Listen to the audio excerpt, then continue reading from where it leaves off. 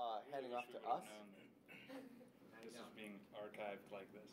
We thought the GitHub and the document. Well, it is. That's what nobody's actually going to watch this, so it's Okay. okay. Yeah, don't worry Well, about we're that. gonna watch it when we're like, okay, how does this go back together? That's right. When we're I'm trying gonna pause it. Oh, we and actually it we, we didn't have time to design for. You can't take it apart. Uh, Yeah, that's good. It's a one Anyway, go. You guys so- said 40 seconds. So- That's how long it had to last. So we're going to talk, let them do their presentation, and then we're going to go probably back to the rocket room and take this thing apart and talk about it. I don't know if we'll spin it up today, but maybe we will. But we'll talk about going through it and, and the con ops and all that stuff. All right. Thanks, guys. Take it away. totally. Uh, yeah, so we're gonna probably skip the water rockets and stuff.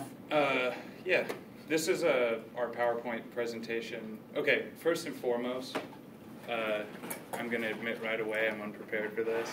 Um, I thought the handoff meeting was like a casual meet in a room and, and hand stuff off. This is talk about stuff. Totes casual. Th- no, this is totes casual. Totes casual. I just wish that I would have prepared something a little better for you guys. So we'll see how it goes. I want you guys to get whatever you want out of this, everything you want out of this.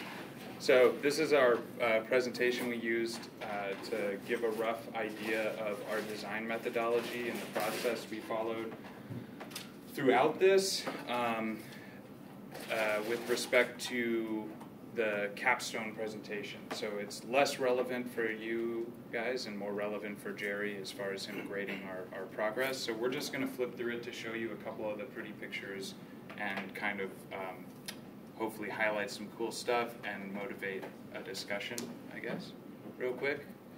Uh, this is our team. Well, Yeah. okay. You- Yeah. Anyway, uh, And you guys, rocket stuff, yeah, we're going to go to the pump stuff real quick. pump stuff. All right, well, You want to talk about why we even chose this design? Oh, actually, that would be a good thing. Yes. Is anyone is anyone uh, who here doesn't know why we uh, took this on and, and what, what this does for How about for posterity, you just tell us? Let's just say future new students don't know. Okay, so what we built is an electric feed system. It's really just an electric pump. It's powered by a battery and a brushless DC motor. Uh, it's a centrifugal pump, and this pump here is to serve as a technology development platform for all of you um, to hopefully turn this into a pump that's capable of uh, supplying the uh, oxidizer and fuel to LV4. Um, It says the battery, just out of curiosity. I'm Is it 12 Is it a 12 volt, 24 volt? It's a 22, 22.2 volt battery, and we use a. We've ran. We do some runs using 22.2 volts. We do some runs using two of them. Is that a six cell battery? It is. Those are they're- 6S, yes. Yeah, they're both 6S. So um, this here uh, is a water pump. Uh, we have not put cryogenic fluid through the pump, just so you guys know up front, and we'll get more into that later. Um, the whole idea being that with this pump, we can eliminate the the um, mass of the pre- uh, of a classic blowdown system. Um, those things are also pretty bad when it comes to scaling up.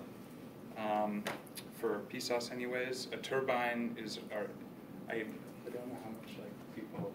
Okay. Assume we know nothing. All right. Sorry. Um, anyways, so we have we have two options classically, right? Blow down system, turbine, a full turbine. We don't have enough resources. What would resources. down system be? Uh, very highly pressurized tanks. Oh, so pressure fed. Yeah, pre- any pressure fed system. Sorry, pressure fed system. Um, is just pressure fed, but without a regulator. mhm. It's basically flip a fire extinguisher upside down and hold down on the handle. Um, the turbine is a turbine, um, very complex machine. Uh, it would require a lot of resources. Um, so what do we do? Well, it just so happens that with the advent of all you quadcopter lovers and uh, RC hobbyists, that battery energy density has been rising. I'm sure you're familiar, and uh, the brushless DC motor capabilities nowadays are pretty impressive. So, starting with the initial feasibility analysis way, way back, we realized we might have a small chance, some sort of chance of getting away with this. Um, and if we can do so, we replace the complexity of a turbine, we replace the hard to scale uh, classic uh, pressure system, and um, turn a bunch of possible problems down, uh, or whittle down a bunch of possible problems into a couple of possible problems. Uh, so this is lighter than a pressure fed system and simpler than a turbo pump. There we go. Online. Okay. And just so you guys know, we also worked in unison with the tank team, who you'll, who you'll be uh, also sitting in on a handoff for um, later on. They're, they're working on the composite carbon fiber tanks. Um, one of the beautiful things about the possibility of implementing this technology into LV4 is that we could get away with, um, well, let's back up for real quick. The classic pressure system, uh, blowdown system are usually pressure, giant pressurized tanks, and then they have um, a reserve of gas, maybe helium, above them that that uh, that provides a constant pressure coming out of the tank. But these are pressurized really high, so if we need 400 psi in those tanks, then we have to build tanks to hold 400 psi. With the pump, um, in unison with the carbon fiber tanks, we can take something that would in general need four, five, 600 psi in a tank and lower that down to maybe two or three atmospheres because we could supply most of the pressure required to deliver the fluid by the pump itself. That makes it easier to build the electric, or that makes it a lot easier to build the carbon fiber tanks, um, possibly a lighter rocket, and a less complicated system. Um, go ahead. Oh, I was just gonna say way to switch units there, mid-sentence. Yeah, Did I that's like 50, 50 psi. Yeah. 50 psi? Yeah. Yeah, 40 to that- 50. that- Roughly Climate- the same as the climate Canada atmosphere is fourteen. Yeah. Oh, okay. All right, just for clarification, you know, we've had our heads in, so one of the biggest challenges we had doing this project is that all of the pump design, like literature, is in mixed units because it's done by these crusty old guys at NASA who have like been doing this for decades and just remember all of the conversion factors and don't really care about units. Oh, no. it's terrible, but All right. yeah. Um, I promise we'll get into really fun stuff. Oh, hey, let's back up real quick to the customer requirements, just so you guys know what, what PSAS asked for, of us to do, um, is to supply a pressure delivery of 400 psi, 300 to 400 psi. Um, these are all based on the calculations that Aaron did previous to our work, um, modeling and optimizing the LV4 rocket. Uh, we wanted to achieve a flow rate of 12 gallons per minute. Um, this is to be suitable for the uh, engine vehicle requirements at LV4 as well as um, the fancy, amazing pintle injector you're all designing right now. Uh, we want it to be transferable in the job, physical sense and the documentation sense. Um, we forgot to add uh, in the presentational sense. Off-the-shelf components, uh, we wanted to utilize as many of those as we could. One of the most challenging parts about this pump, and probably one of the um, things that make it unique for our, our group and our society, is that the entire um, hydraulic uh, system or sorry, hydrodynamic system here, the pump itself, uh, was manufactured in-house. Um, everything else you see, the, the plumbing, the sensors, the gauges, um, aside from, from this here, is commercial off the shelf. Um, I think, I, I would say that one of the reasons we haven't seen any other amateur groups design a pump like this or successfully test a pump like this um, and see the, the performance coming out of it that would be indicative of requirements that you would need to have uh, a successful launch or at least an impressive launch is because there, there was no identifiable way that we could find after an exhaustive literature review um, to get around having to fully manufacture the pump in-house.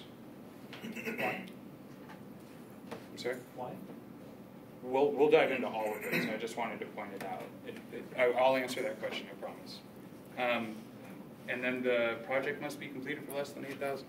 Okay, cool. There's one thing I wanted to say about the, the three hundred to four hundred PSI at twelve gallons per minute is an LV four requirement. That's for the two point two kilonewton. Yes. I'll be three. Yeah, so Or it's the- the prototype. the test. engine. The, the, um, LV four engine would, it guaranteed need, needs at least twice the flow rate and, um, possibly higher head. Oh, to that end, I'm just gonna jump out of this presentation here real quick. um, To point out this thing.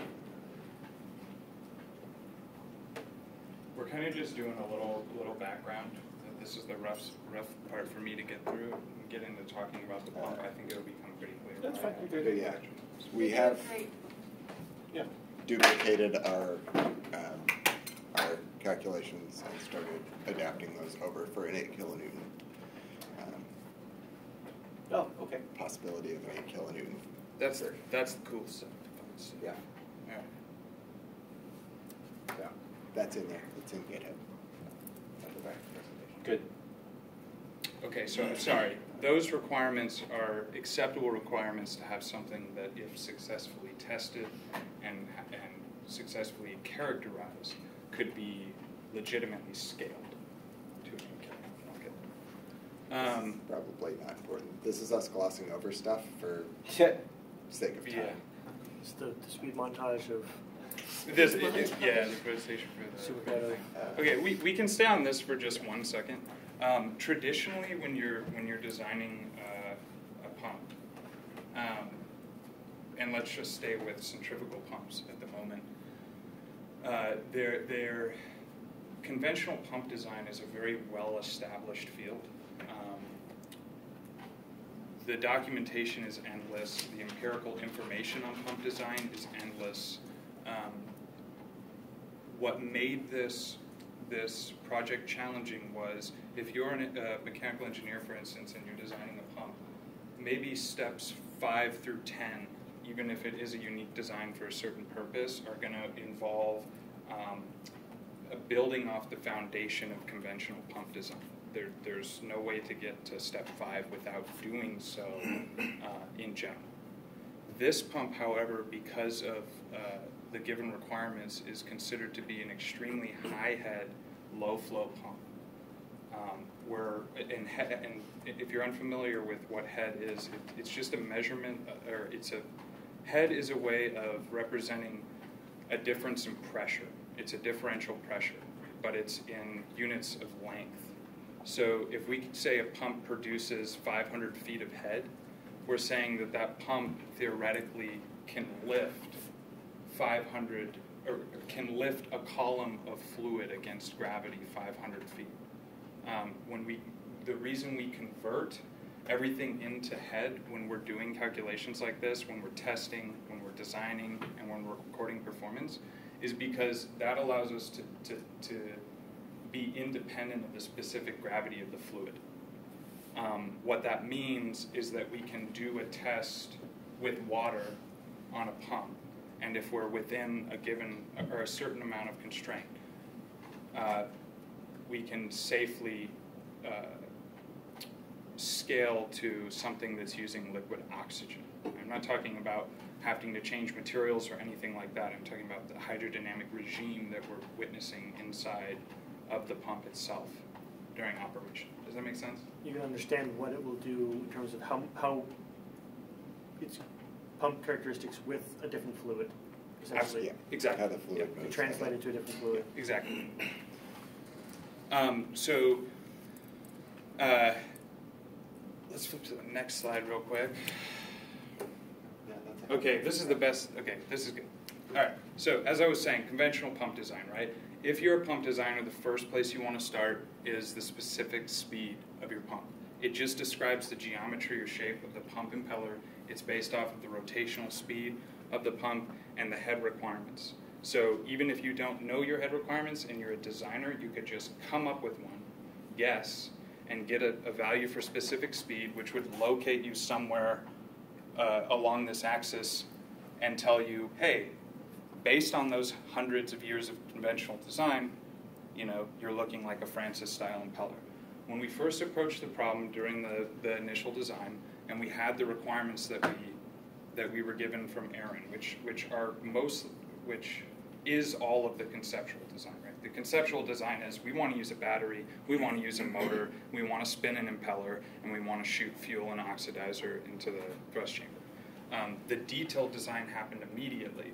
Once we got into that and we took those values, we realized that we were getting a specific speeds of about 479 in that area, and even lower for for some of the other things we were messing around with. As you can see, this drops out at about 500. This isn't unique to this photo. Um, this specific speeds are just rarely, if ever, recorded below this in conventional pump design. So, whereas um, your so your most important part or your most important place to start uh, was basically ripped from our grasp this is one of the reasons that things are going to start to become complicated. Um, does this make sense? Mhm. Okay, so How do so we we answer the question of what basic shape is a? And and I'm sorry. This is this is going to give you the basic idea of the geometry, but this is also going to tell you is this radial flow, is this axial flow? It's going to it's going to try and guide you in the right direction. Once you start falling off, you're you're turning a blind uh, turning down a blind. And, and just to make sure I understand, this is the axis, this is the spinning part. Um, radial flow The, means. the, the, the flow inlet is along the x these are uh, half cross sections of an impeller, so the flow is going to be So coming above. in this direction, and in all cases, it's leaving here, leaving here, and then this part it's leaving radially. Okay, so radial flow, the, you go from axial to radial, and Yep. axial flow is mostly along the axis. Yeah, the, Yep. the inlet is always axial. When it says Okay. radial flow or axial flow, that's talking about Sure. how it's discharging. The exit flow. So we have a radial, radial uh, flow here. Our fluid's coming in directly or axially right down on the fr- on the impeller eye Mm-hmm. and leaving in the radial direction. All right, thanks. So why is it? And, and impeller impeller diagrams like this, don't beat your head over this. Like, th- this is one of the most counterintuitive things ever. I I still hate looking at impeller diagrams. I mean, you just have to sit down and Google it and like go through them and say, oh, now I kind of see where the water's leaving. But I don't know how they made anything before 3D CAD model. You just have to stare at them for a long, And long then, time. just so we know, the Q up there, is that the flow rate? yes. That's the flow rate. And H is head? Yep. Mhm. Okay. So why is it that your specific speed is so low compared to, compared to what the usual numbers are? Because we have an extremely high head requirement and a very low flow rate. So conventional pumped uh, performance curves, is anyone in here familiar with per- pump performance curves? Is there mechanical engineers? Okay. Okay. Um, a performance curve is, and, and we'll show you, is just a way to characterize the performance of a pump. It's basically all you really want, and it's a straightforward process. It's straightforward to get that data back. Um, given that you already have a pump, it's been designed, it's sitting in the in the room and be and ready to test. Um, they're usually representative of flows, anywhere from about 50 gallons per minute to you know hundreds of gallons per minute, and heads of anywhere from zero to you know thousands of, of feet of head. So even on, on conventional pump performance curves, which is how you would take a, a pump that you had in your facility and you needed to have one that, that performed slightly higher, you'd grab the performance curve of the one you had, and through through a process, um, you would pull your new pump out of that curve. We, we can't do that. We don't have a performance curve to pull our new pump out of. Um, so we're below that 50 mark of conventional uh, pump design, which is considered extremely low flow, and we're above um, the mark, which is about 100 to 200 feet of head. Uh, Most of that's the very high head. Mm, A significant amount of the literature is, is, as with anything in space, designing for industrial applications on the ground where you can have as big a motor as you need and you can, you know, make your impeller 20 feet in diameter and whatever. Right? Right. Okay. So what I get out of that is if we were gonna, if we decided that instead of twelve gallons a minute, we we're gonna do fifty gallons a minute, then all of this would be way easier. Yes. yeah, it would. I cer- certain things would be easier. The, the overall pump design uh, would become easier. The the power. Yeah, we wouldn't be able to do it using batteries. Right. Or at least So- to start getting iffy. Pa- power requirements are gonna are gonna go up exponentially. Just and um, Is it actually exponential? It's actually the fourth power. Oh, sorry. um, I think with flow rate. Yeah. it is yeah. Uh, it is. Um, Additionally, we're gonna have to be lifting all of that fuel if we're gonna. Yeah. No, you're totally right, though. Um, the 8 kilonewton rocket, uh, the idea of building the 8 kilonewton rocket for this pump, it makes the pump design harder, the power, or pump design easier, the pump requirements harder, and there may be an unexpected challenge in having to gear um, two separate motors or, or have some sort of, of gear ratio on the motor itself to lower the power requirements so that we could get away with using fewer batteries because we can't just slam 20 6S batteries on the rocket. But Yeah, we we can get into that later. Like yeah, tape them on the outside. Um, I'm kind of trying to paint a picture. I just graduated and then started moving. My mind is just running really slow right now, so I, I hope you guys can bear with me. I'm trying trying to paint a picture of some of the small uh, complications so that then I can then I can describe the, the thing in its entirety. Um, so just as a review, real quick as we move forward, again, the key words here, very low flow, 12 gallons per minute. Your, your faucet at home is running at about six to eight gallons per minute, so only slightly more than your faucet. Um, extremely high heads, about six to seven to 800 feet of head in that range. Uh, these requirements dictate very small geometries. The impeller itself is two inches in diameter. Can't go much lower than that. I'll just and I'll and I'll start explaining why. So right now, small geometry, low flow, high head. Okay. These are fancy quotes for from. Okay, so one of the best moments we had throughout this process was during the, the literature review and all of this investigation, we had discovered that Andrew Burns, uh, a guy who works now for Rocket Labs, Or he did. or he did. Yeah, Nobody really knows who. Andrew Burns is. it actually started with Nadir, uh, now the CEO and founder of the Bagaviv Corporation. He's like a weird space missionary. Yeah, Who he's just- also like, is he even like, does he even, did he even go to college or did he just like figure this shit out? I'm not sure what he Like does. playing around in the middle of the desert in Yeah. Nevada. Yeah. Like, I'm not sure what he does. Anyways, these guys are really cool.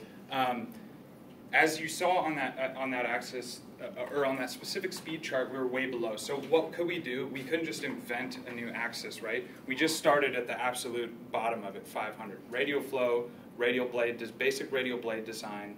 So we kind of started investigating that area.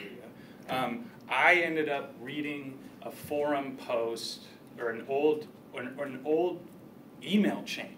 Somehow I found an old email chain of like 100,000 emails, and Andrew Burns was in it talking about this really wacky idea to like build the thing that we want to build, right? And then they were kind of playing around with ideas, and I just heard the term has anybody looked at a Barske impeller design? This is, yeah, B A R S K E. It's also it's also if, if you're if you're going in depth in research or in researching this or looking into it, replace the e with an i.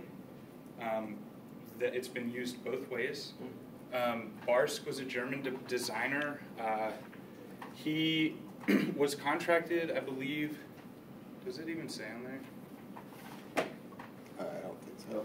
Okay. Anyways, There's a couple spots where there's. so to give you to give you a little background, we started diving really really deep. This was back in the 40s, early 40s, Early or 40s. so. Late 30s was, I think, when he started working on this stuff. but Late 30s. Is this Nazi technology? Basically, yeah. So, so, some of it. Yeah.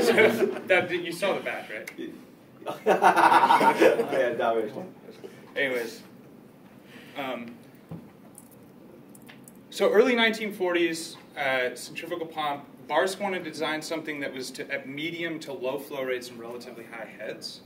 Uh, again, conventional designs are not suitable for such operating conditions. Uh, according to well-known de- definitions, are called low specific speeds. Uh, under low flow conditions, there's there's no attempt uh, to maintain uh, uniform flow.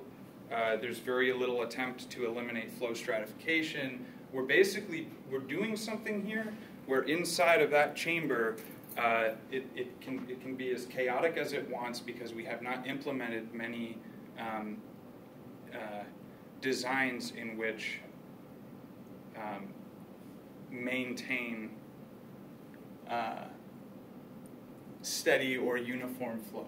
Um, how do I say this? I have a Ah, okay. What's Yep. flow stratification?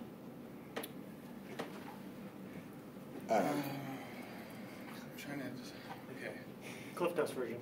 Yeah. The I mean the the simple version of, of I think what John's struggling to say is that um, we're going to slam a bunch of kinetic energy into this fluid, but we're not going to do the like fancy swoopy things that try to match the the. Um, I think I didn't mean to cut you off. I think what's really messing this up is we're using this PowerPoint Yeah. presentation. Um,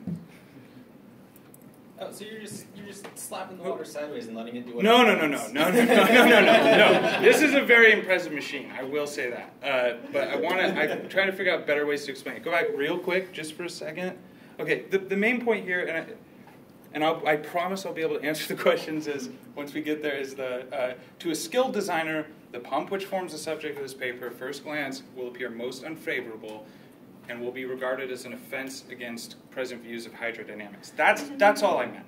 That that Okay. one, once we once we So this is an insult. yes once we give examples of the design decisions we made and, and the certain types of geometry and the certain types of of um, restrictions we put on the pump. If you all were conventional pump designers with 100 years of knowledge in pump design, you would, you would think we were insane and that it was an offense to hydrodynamics. Um, and, and we'll tell you why. So it did suggest, though, in this paper that we intentionally flaunt the rules, so we started to mess around with, with that. Um, and that's where we ended up with our design. After a lot of work, we got here. And, I get, and this might answer some of the questions that I was trying to, trying to talk about. Um,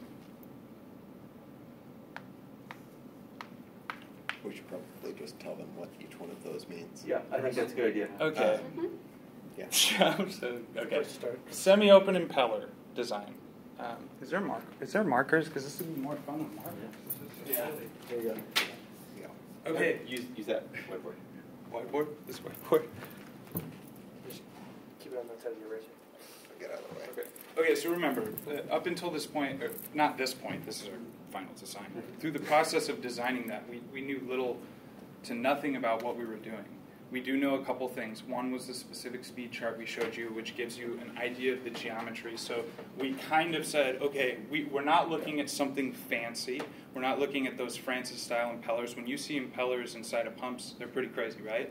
The blades kind of curve down. They maybe it kind of looks like it has a pyramid shape, whatever.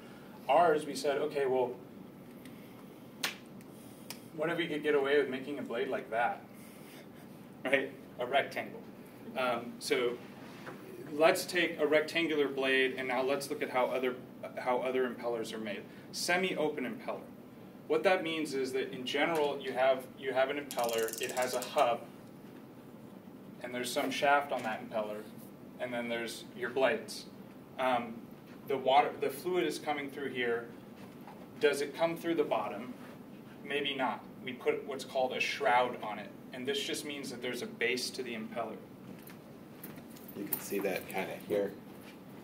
These features. Instead of that being a solid disc, though, um, the semi-open means basically they There are holes in it. I actually have stuff. Oh, Here, here, you here. have the printed one. Okay. Here's some printed impellers. You can check them out. All right. So let's say this is the shroud, and this is a side view of our impeller, and then we look at a top view of our impeller, and here's our hub again, and here's our blades. And if water goes from into the whiteboard, slams right here, it splashes off. That's uh, basically semi-open. It means that there's only one side of the impeller, either the top or bottom, closed off. If we then add another one here, right, then we're essentially slamming the fluid into the impeller and there is nowhere for it to escape. Make sense? It's a fully closed impeller, Shrouded is another term for that. or fully shrouded, fully closed. So it's very simple. Semi-open impeller just means that it's semi-open. A fully impeller or, or a fully open impeller would look more like a prop on the back of a boat. It would just be blades. That's it. Okay. Um, so what do we do? We we ended up using a semi-open impeller. The reason we did this, I guess we can just start taking like little things one by one. Yes. The reason we did a semi-open impeller is because um, fully closed impellers, first and foremost, are hard to, harder to machine. Um, that doesn't have to be a big thing or a small thing, but one one thing to keep in mind with EF, EFS as you move forward is most all of the decisions that we made, out of all of them, a large amount of them were were, were constrained by machinability um, and and the resources that we had in the school. Uh, a fully open impeller design um, was something that we may have been able to get away with, but with a fully open impeller, you have to start worrying a lot more about um, the loading on the impeller um, and just the forces being applied to it as the fluid's coming in and moving out.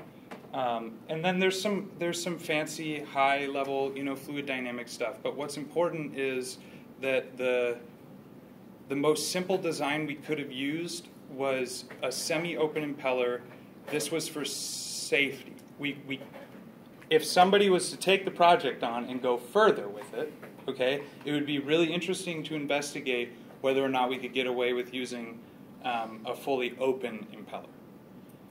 Uh, the reasoning for that is because when we start to talk about an 8 kilonewton rocket um, and we start upping the flow rate, um, we're talking about higher loading. Um, and we can eliminate. Sorry, there's different loads here, but do I go into free body diagrams or? Well, I think the, the, the trade-off is the, the load on the axle versus the load on the impeller blades. Right. Yeah. Because I, I just told you guys, I just contradicted myself, but I just told you guys we avoided an open pel- impeller because of the higher loading. Mm-hmm. We did. What I'm talking about is in the radial direction. Right. Okay. And the blades. Right. In the axial direction, obviously, the load is much higher with a semi open impeller, something with an area to distribute the, the, the, the thrust, which is just a hydrostatic pressure coming in, going under the, under the bottom of the impeller and lifting up. So flow, uh, flow enters axially and exits radially. Um, Yeah, we kind of already covered that one. Oh yeah. Okay. So the casing is bored concentrically with impeller center centerline. This is one of the most important takeaways from this entire thing. Uh, is that this is a concentric bowl design. It's called a regenerative uh, liquid, uh, regenerative liquid centrifugal pump. Could you repeat that? Yes. This is a. This is what is called a concentric bowl design. The, the fancy way of saying that is that it's a regenerative liquid centrifugal pump. And these are such And big things to explain. Simple way explain to that say I'm, that is that the fluid goes in and then maybe goes around more than once before it leaves. So in a traditional, uh, in a tradi- traditional centrifugal pump, you have what's called a volute. If we take, because this is really kind of where we, we started to, to put some magic into this design uh, and get away with making it more realistic. Um, if you have a conventional centrifugal pump, you have some sort of housing that the impeller sits into. So that, that impeller, you know, is in the center and it's spinning around. In general, the walls inside um, would be. Th- this would. oh, It's kind of a. anyways, Yeah. it's not quite so. concentric. Um, y- th- this, uh, I know the best way to, to get this across. So, uh, There's, a, I think, one way of looking at it. Um, so a volute, that word is actually biological in origin. It's the name of uh, snail shell. They have that kind of uh, spiral to them. Yeah, Um, the reason why they call a pump housing a volute is because they usually have that shape. The reason why they have that shape is um, because you are uh, you're creating a lot of static head in the pump and you're um, diffusing it. So um, a diffuser is a thing that converts uh, velocity, like kinetic energy, into uh, pressure. And um, so you can see in the diagram that there is a diffuser, but in a um, non-concentric type volute, that diffuser is literally the whole thing, and that's partly done by the fact that the it's not it's not consisting of two concentric circles. Right. That makes sense. Okay. So the, the, the just to recap, in a conventional pump, what that volute allows uh, us to have is something where uniform uh, pressure and velocity distribution uh, on the peripheral of the impeller exists at the best operating point of the pump. That's what you're designing for. It's called the BEP, best operating point. It's where you're getting the max, you're getting the most efficiency within your requirement range. That's a so that's a conventional pump. Uniform velocity and pressure distribution on the peripheral of the impeller is happening at your best efficiency point. This is a highly unorthodox, unorthodox design where uniform pressure and velocity distribution are not happening anywhere other than zero flow. Um, so, uh, basically, like Aaron said, what that means for us is that we are slowing down, uh, we're shaving off some of the velocity with the diffuser in a very rapid and immediate fashion. Um, uh, You're getting the high end from the from the high transfer of kinetic energy into pressure. yes. Okay, that's fine. That- That's and that's cool. That's really interesting. So you guys had really weird design constraints because of that. Right. Yeah. So th- this and, and, and what we wanted to make happen was to eliminate some of the that chaos is to have some of the fluid recirculate mm-hmm. with inside the casing. Only a portion of the volume that is filling up the casing leaves with a given rotation of the blade. Whereas in a conventional design, um, it's basically one to one what's coming in and what's going out for each blade rotation. With the, does that make sense? Yeah. Yeah. Okay, so we're only we're only spitting out a certain portion, and we want to recirculate some of it. That's where concentric comes So in. it just, it it allows the, the tips of the blade to not have to impart as much energy on the fluid as they would conventionally with a closer tolerance of the tip. Right. Yeah. Yeah, and and and there are some very uh, beneficial reasons to doing this, but one of the main reasons is again high head, low flow pumps. When you have specific speeds below 500, you cannot buy off the shelf. So if we have to make it, it's got to be realistic to make. Um, and the concentric bowl itself is, is far easier to machine um, than, than one with a volute. But the only way that you can achieve the types of efficiencies by making that sacrifice is to have a unique impeller, like a Barske style, have a, a diffuser that's oriented tangentially to the casing bore, um, so that all of your slowdown happens very fast. Um, so those are the two keys. The two keys to to high head low flow pump design for us at least are Barske influenced impellers, partial emission design, which is suggestive of concentric bowl, and regenerative liquid motion inside. Cool. Okay, cool. So can, can we go back for just a second? Yeah. All right. So the uh, structure parameters, um, those are the final ones, right? Uh, Oh, yeah, yeah. These are the final structure parameters. There, there is a, a design notebook in the GitHub for this project Mhm. that goes through computing some of these values. Um, these are the final, these are the final parameters that describe the geometry of that casing. So, just to give you an idea, this is really cool. The the outlet diameter, which is just, in, in again, not intuitive. This is conventional pump language. Yeah. Um, impeller outer diameter, that's the overall diameter of the impeller, 2.1 inches. The blade width's 0.2 inches. Um, but what's really cool is the discharge throat, where the fluid's actually leaving, is 0.18 inches. So this is a very, very tight, small hole to be throwing fluid out at 12 gallons per minute, 800 feet ahead, with a blade with an impeller inside rotating at 20,000 RPM. Which was another thing. We had to rotate the blade. The blades on the impeller at 20,000 RPM with concentric bowl design. We can be a little more uh, liberal with our clearances in the radial and axial direction. I don't actually see the clearance in there anywhere. Oh, that's D two minus D one. Okay, all right. This, the, the clearance that I'm talking about is Yeah. from the blade to the sidewall. which looks like it's not there. D two, D two minus D three. Yeah, it's That. Yeah. Yeah, I can't see that. Your You have to solve for it. me. Oh, I still can't see that.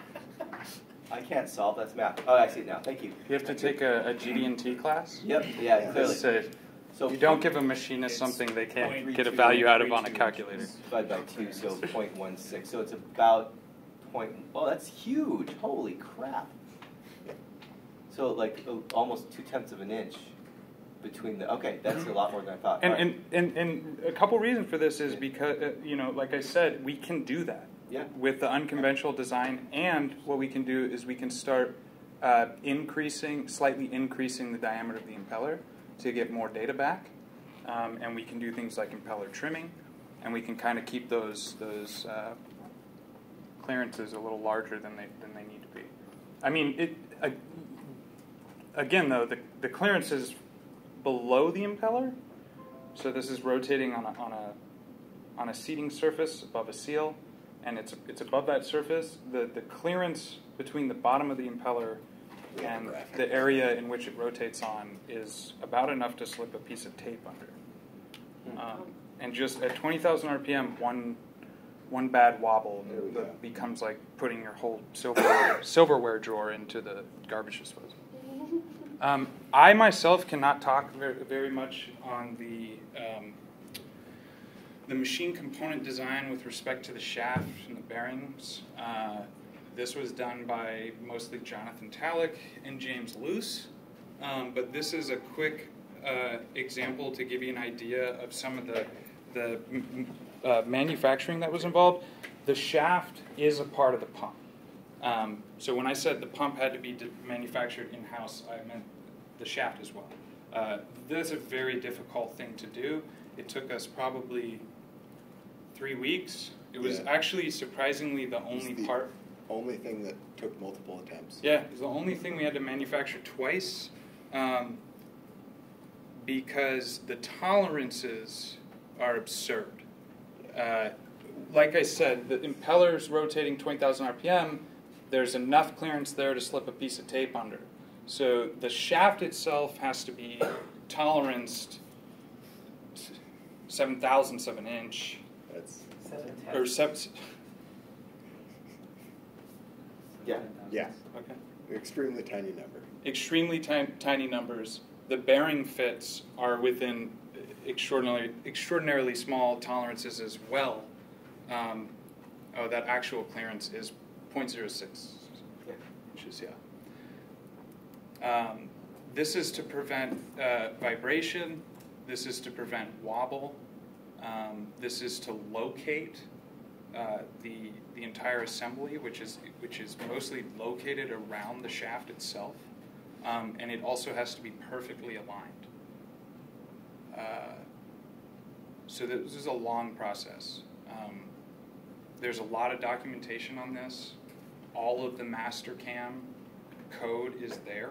All of the G code. If you have somebody in the machine shop that knows how to run the machine, push buttons. All you got to do is hand them the USB drive, and you can recreate most of this pump.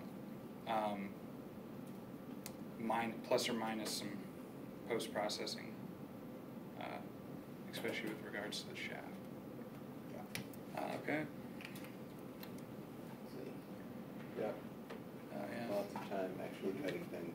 Oh, yeah, this was done on the three axis CNC upstairs.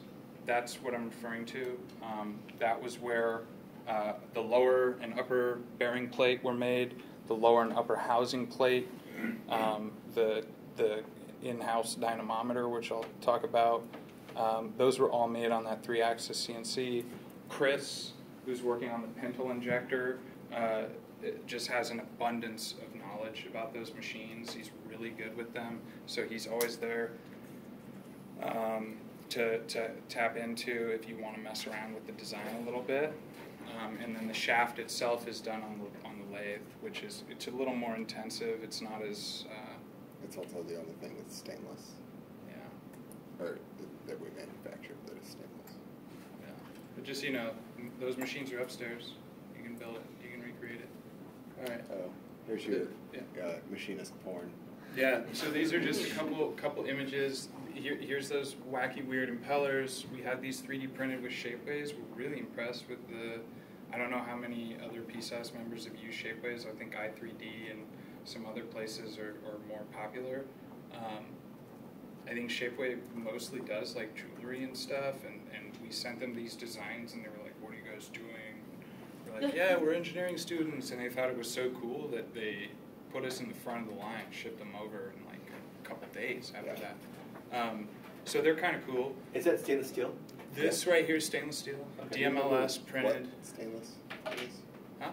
Do you remember which stainless it is? Shapeways doesn't have Oh, they don't. information on that. No, no. I thought they did. It's like It's also, They didn't say it's not 316. it's three oh six, I thought. I would believe it's 306, Yeah. but I never saw. I never saw a Shapeways have. What's that? It's worth noting that uh, 3D printed crystalline structures do not meet standards for crystalline structures in metallurgy. So, though they're 3D printed, they aren't going Uh. to be the same as something that's machined.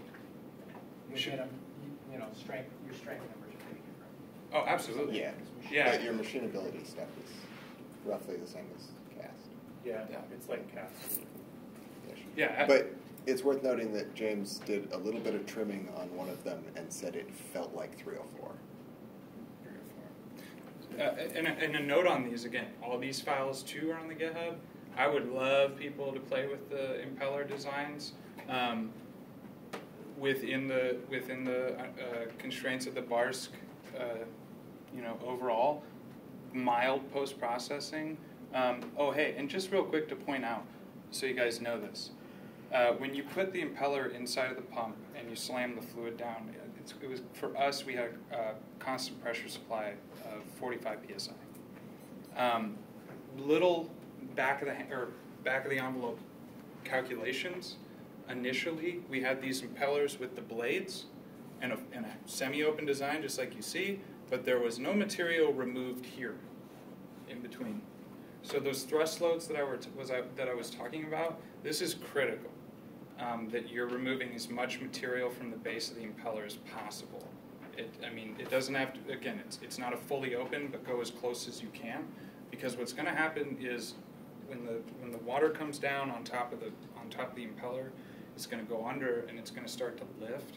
It's going to put a thrust force on the bottom. We we figured out that that was about 2,000 pounds with the full with the full full uh, area. So it's a, it's a careful process, but all of these impellers were designed parametrically. All of the SolidWorks files are there. There's equation sheets. There's a master equation sheet. So it, even just for fun, you're not going to ruin anything. If you want to go in, you just have to change a value in that master equation sheet. You don't even have to do any CAD modeling, and it'll regenerate a CAD model of the impeller for you. And it's dictated by the limitations of all the very deep literature review we did.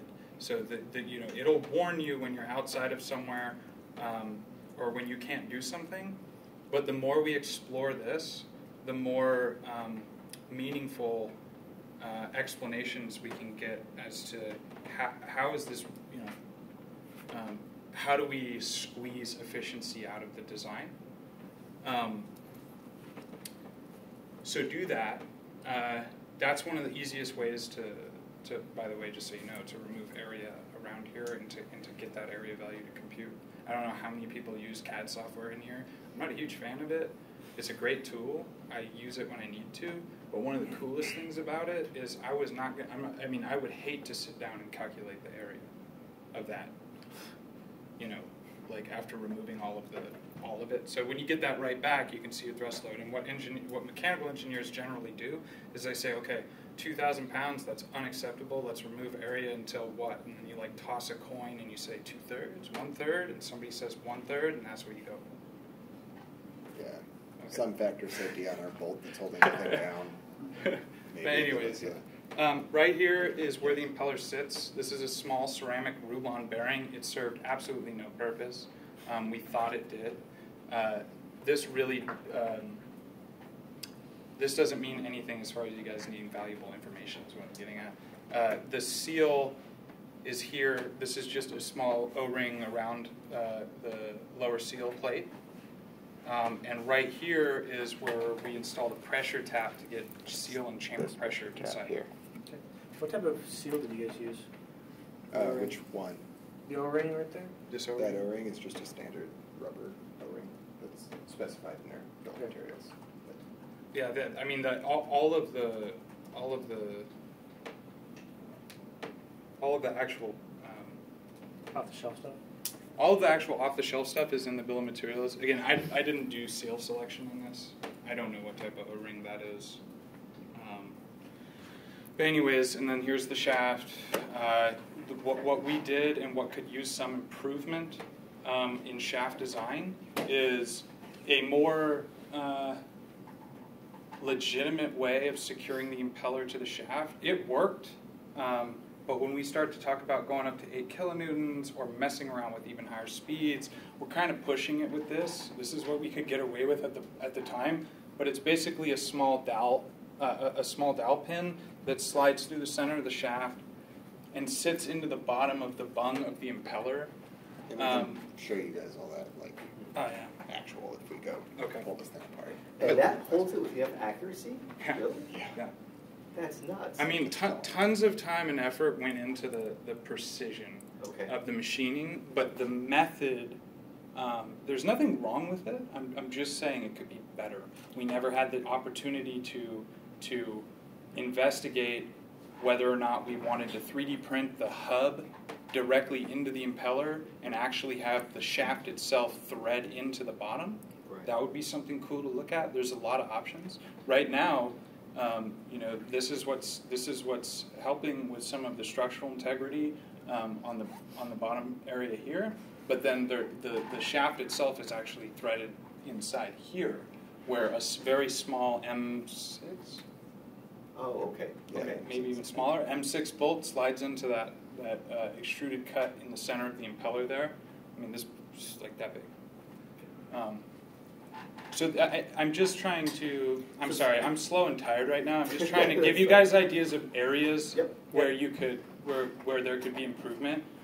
If people want to like sit down anytime after this, after this whole thing's over, days from now, weeks from now, and really nerd out on this, I will prepare myself to nerd out. I promise. I promise. So, so there's an M6 bolt that holds that thing to the shaft. Yep, that's Okay. it. Great. So is there some kind of shaft sealing in between the shaft and the housing, or? Yes, Okay. that, so that's what I was just thinking about that, because I was thinking maybe you were thinking that was actually holding Yeah, I Uh, yeah. pressure. So that seal just seals against this surface here. It's between these two plates. Um, it's really just there as like a, a backup. And it's just holding basically hydrostatic pressure. It's not, um, it's not dealing with any rotation or movement or anything. It's just a static seal. Um, Is it in contact with the liquids, yeah, No. sort Possibly. of. Not really. Mm-mm. potentially? It'll leak. Yeah. The, liqu- the liquids will If- leak through, if- right? If the liq- if the liquids, Eventually. yeah, if the li- liquids leaked, then it would be in contact. The thing the, the thing that we realized is some of the things you're going to see in this design were were uh, safety measures. Um, they were to just guarantee during testing that we were we were being as as, as safe Some as we of them could. were even this just to see. but this here is something we realized we no longer needed because the compressive forces between the two aluminum plates were enough. Um, that doesn't mean it shouldn't be there.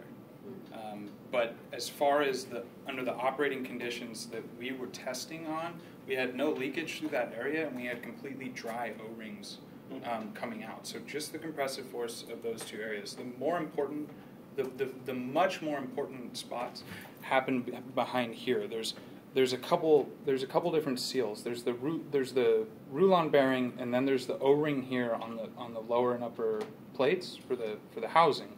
But right behind that, you have a secondary um, seal, and this is actually a dynamic seal that's attached to the shaft. It's a compressive seal, so it's actually like a, a Yeah, seal. it's a, sort of like a canister thing with like a hard plastic um, bushing in it that actually is spring tensioned against a plate, and then So it's a mechanical seal kind Yeah. of like Mhm. it's a, Yeah, and so once we had originally, we, uh, just to give you an idea, when you s- when you have a seal like this and it's brand new, um, it needs a little time uh, to start working how it should. So when you first, if you guys go and you replace any sort of dynamic seals inside of the pump itself, there's a process that's recorded in the GitHub for kind of stress testing those seals, um, just to avoid any complications when you're firing up in the first place. Um, once they're worn in a little bit, uh, they're good to go. Um, but you need to be really careful about. Eh, that doesn't matter. Okay, it's not. It's not relevant. Okay. Yeah. all right. Um, this is this is one of my favorite parts of the Yeah. whole thing. This is- Um, the pump is badass, but we uh, had an issue. The pump performance curve that I was talking about. Can we actually just mess like flip through this thing? Yeah. And come back to it. There go. Okay, real quick, let me give you a little background on how to test this thing because that's what's more important for you guys. Um, uh, we used Hydraulic Institute test standards to design the test. In the very beginning of this talk, I talked about how um, the pump performance curves and characteristic curves is a well-known process. There's, it's non-trivial. You follow a process, and hopefully you get back what you want. Um, so you want a head versus capacity curve. That's the main. That's the main curve, the green curve you see here, and that's that's just a representation of the head the head that your pump is is achieving for a given capacity. And then you have a power versus capacity curve. That's going to give you all the information on um, what kind of power demands are occurring on your pump during operation with an increase in capacity, and capacity being just the flow here. Um, two two different uh, two important there's two important power considerations. There's the braking horsepower and the, and the, and the fluid horsepower the working horsepower. The braking horsepower is the horsepower that the motor is delivering to the shaft. That's less important than the working horsepower. The working or, or the fluid horsepower which is the horsepower it's basically the power it's basically the power that the, that the pump it's that the motor is no that the pump is imparting on the fluid. It's how much power is the pump imparting on the fluid in So gross in, ratio of those gives you your efficiency. in gross terms. Yes, that's where you're going to pull your efficiency out. So you need both of those, um, and then you have a net positive suction head uh, curve, which is a whole thing. Good. Or let's do that one slide with the. Uh, or do you want to go back? Nah. We don't. We don't have to talk about this. Yeah. Okay. Oh, that the one you were just on. Which one? There. Okay.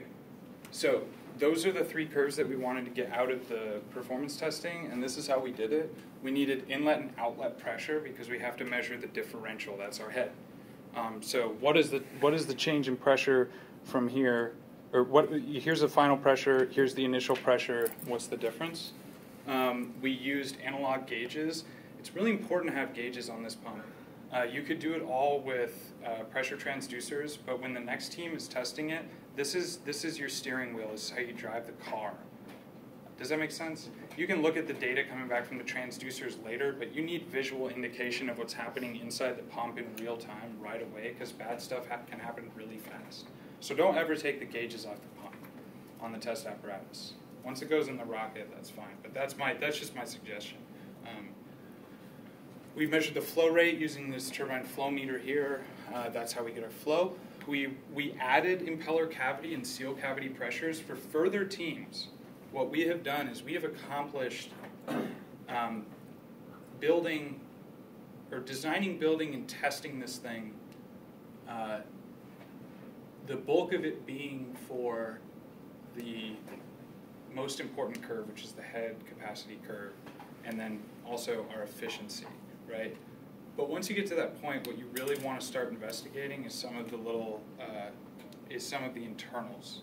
Um, basically, don't think of the pump as, as a state equation anymore. Um, so we added impeller cavity and seal cavity pressures. Uh, the impeller cavity is obviously where the impeller is, and then this this is going to be right here. This is that indicator. This is telling us what's the pressure inside the cavity. Um, this is extremely valuable. And then we have the sorry, this is the cavity pressure. That's the the this is the seal pressure. So this is looking at the pressure on that mechanical seal that we were talking about earlier in the center. So all of that feedback is very important because the next step for this is to is to revamp the design and to integrate new materials for cryogenic fluids. These seals, these O-rings will not work. Um, the major limitation in moving forward with this project for cryogenic fluids is the cost of cryogenic capable seals and bearings. So anything we can do to limit the the the interactions between the cryofluid and the bearings and the seals is only going to help us in the end. Anything we can replace with a regular seal, a regular bearing, something that's reasonable within some sort of temperature range properties that doesn't have to be in contact with cryogenic fluid would be awesome.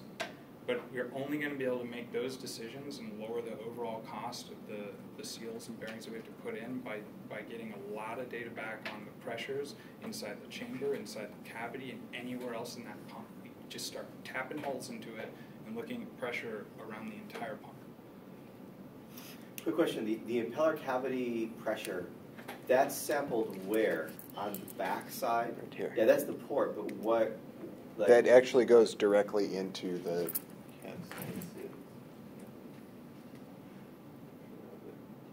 Is there a shot of it?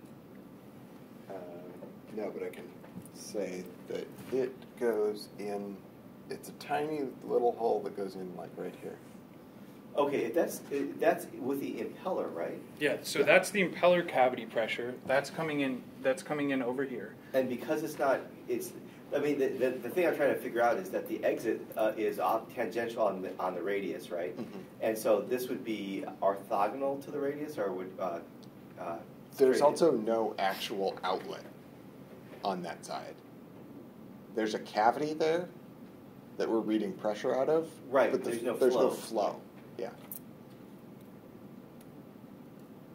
So is it Oh, like a static right, pressure? sorry. We're, we're looking. Yeah, we're, yeah, yeah, yeah, we're, yeah, we're tapping yeah, it right. there to see the pressure change. God, you should- guys should just use electrons and not use atoms. Electrons are so much easier. Okay, yeah, thanks, I understand that. Um, and then the, the seal or the seal cavity pressures are being tapped deep in, deep inside here, behind that Rulon bearing. a Behind the bearing. Okay, a, good. A That's what I couple, wanted to know. yeah, a couple balls. All right, thank you. A couple microns, you know. Uh, Um, where were we? so the that little testing diagram, like with the picture, yeah. Okay. Okay. So th- again, this is just a quick overview of what you guys need to get the data back for a standard pump performance curve. With the addition of this and anything else you guys can come up with that would be fun, um, fun data. Because really, this and this here is the engineering. This is to build pump. This here is the science. We want to do science so that we can understand how to make the pump more efficient. We took pump rotational speed, we used an optical sensor. This is a lot harder than we thought. We also bought you, we, we bought a tachometer for you guys, laser tachometer.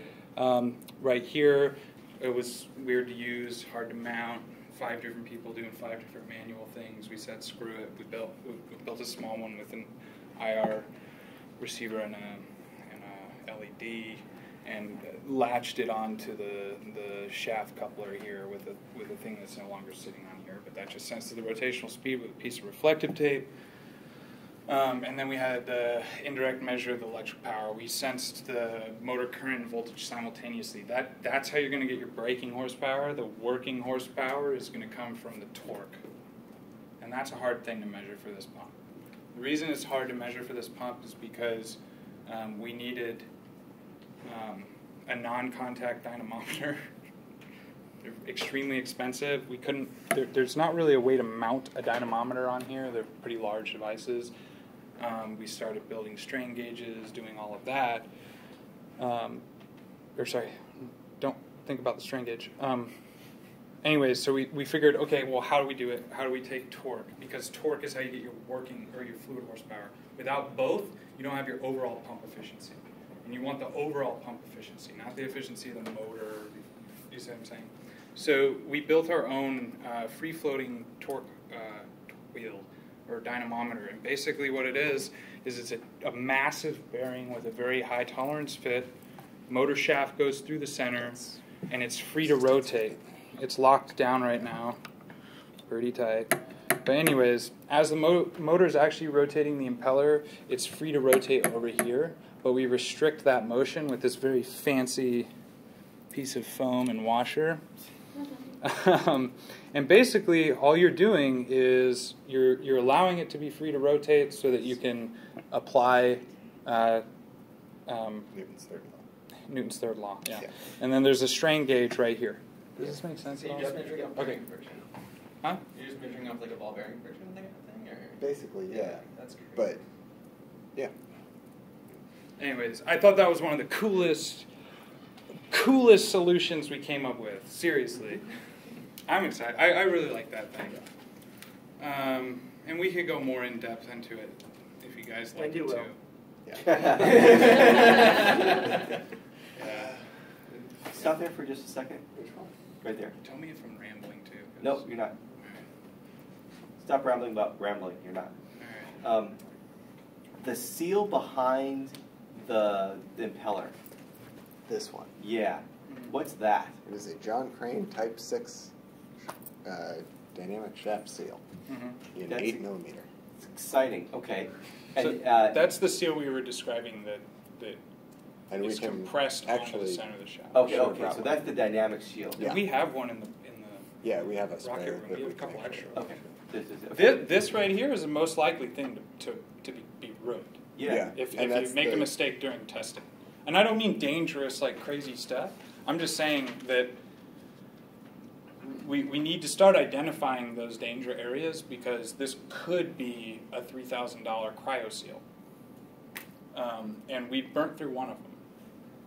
Uh, Is that because you screwed up or just because you? Oh, I screwed up myself. We had a really fun experience where I closed the the uh, I closed the sh- the shutoff valve while it was going at twenty thousand RPM. We had like a we had we had six hundred psi go back, and then blow the bearing grease out the backside. We have these little. and I um, wrote the test procedure We- Yeah. that's in the safety manual. We have these little overpressure ports. That's for, new. To um, for us to see when the when the sha- if the shaft seal failed, there's little like basically just little place for the pressure to escape. Yeah. It's just a little channel. Um, and so- Instead of blowing through the. Yeah. Yeah. yeah, that makes instead of going all through the bearings and stuff. I think we even we even uh, It it dribbled a couple times, but oh, are you gonna play the video? No, there's just there's just uh just so you get because when this actually happened, Yeah. um, we were very scared because we thought it was something really really bad.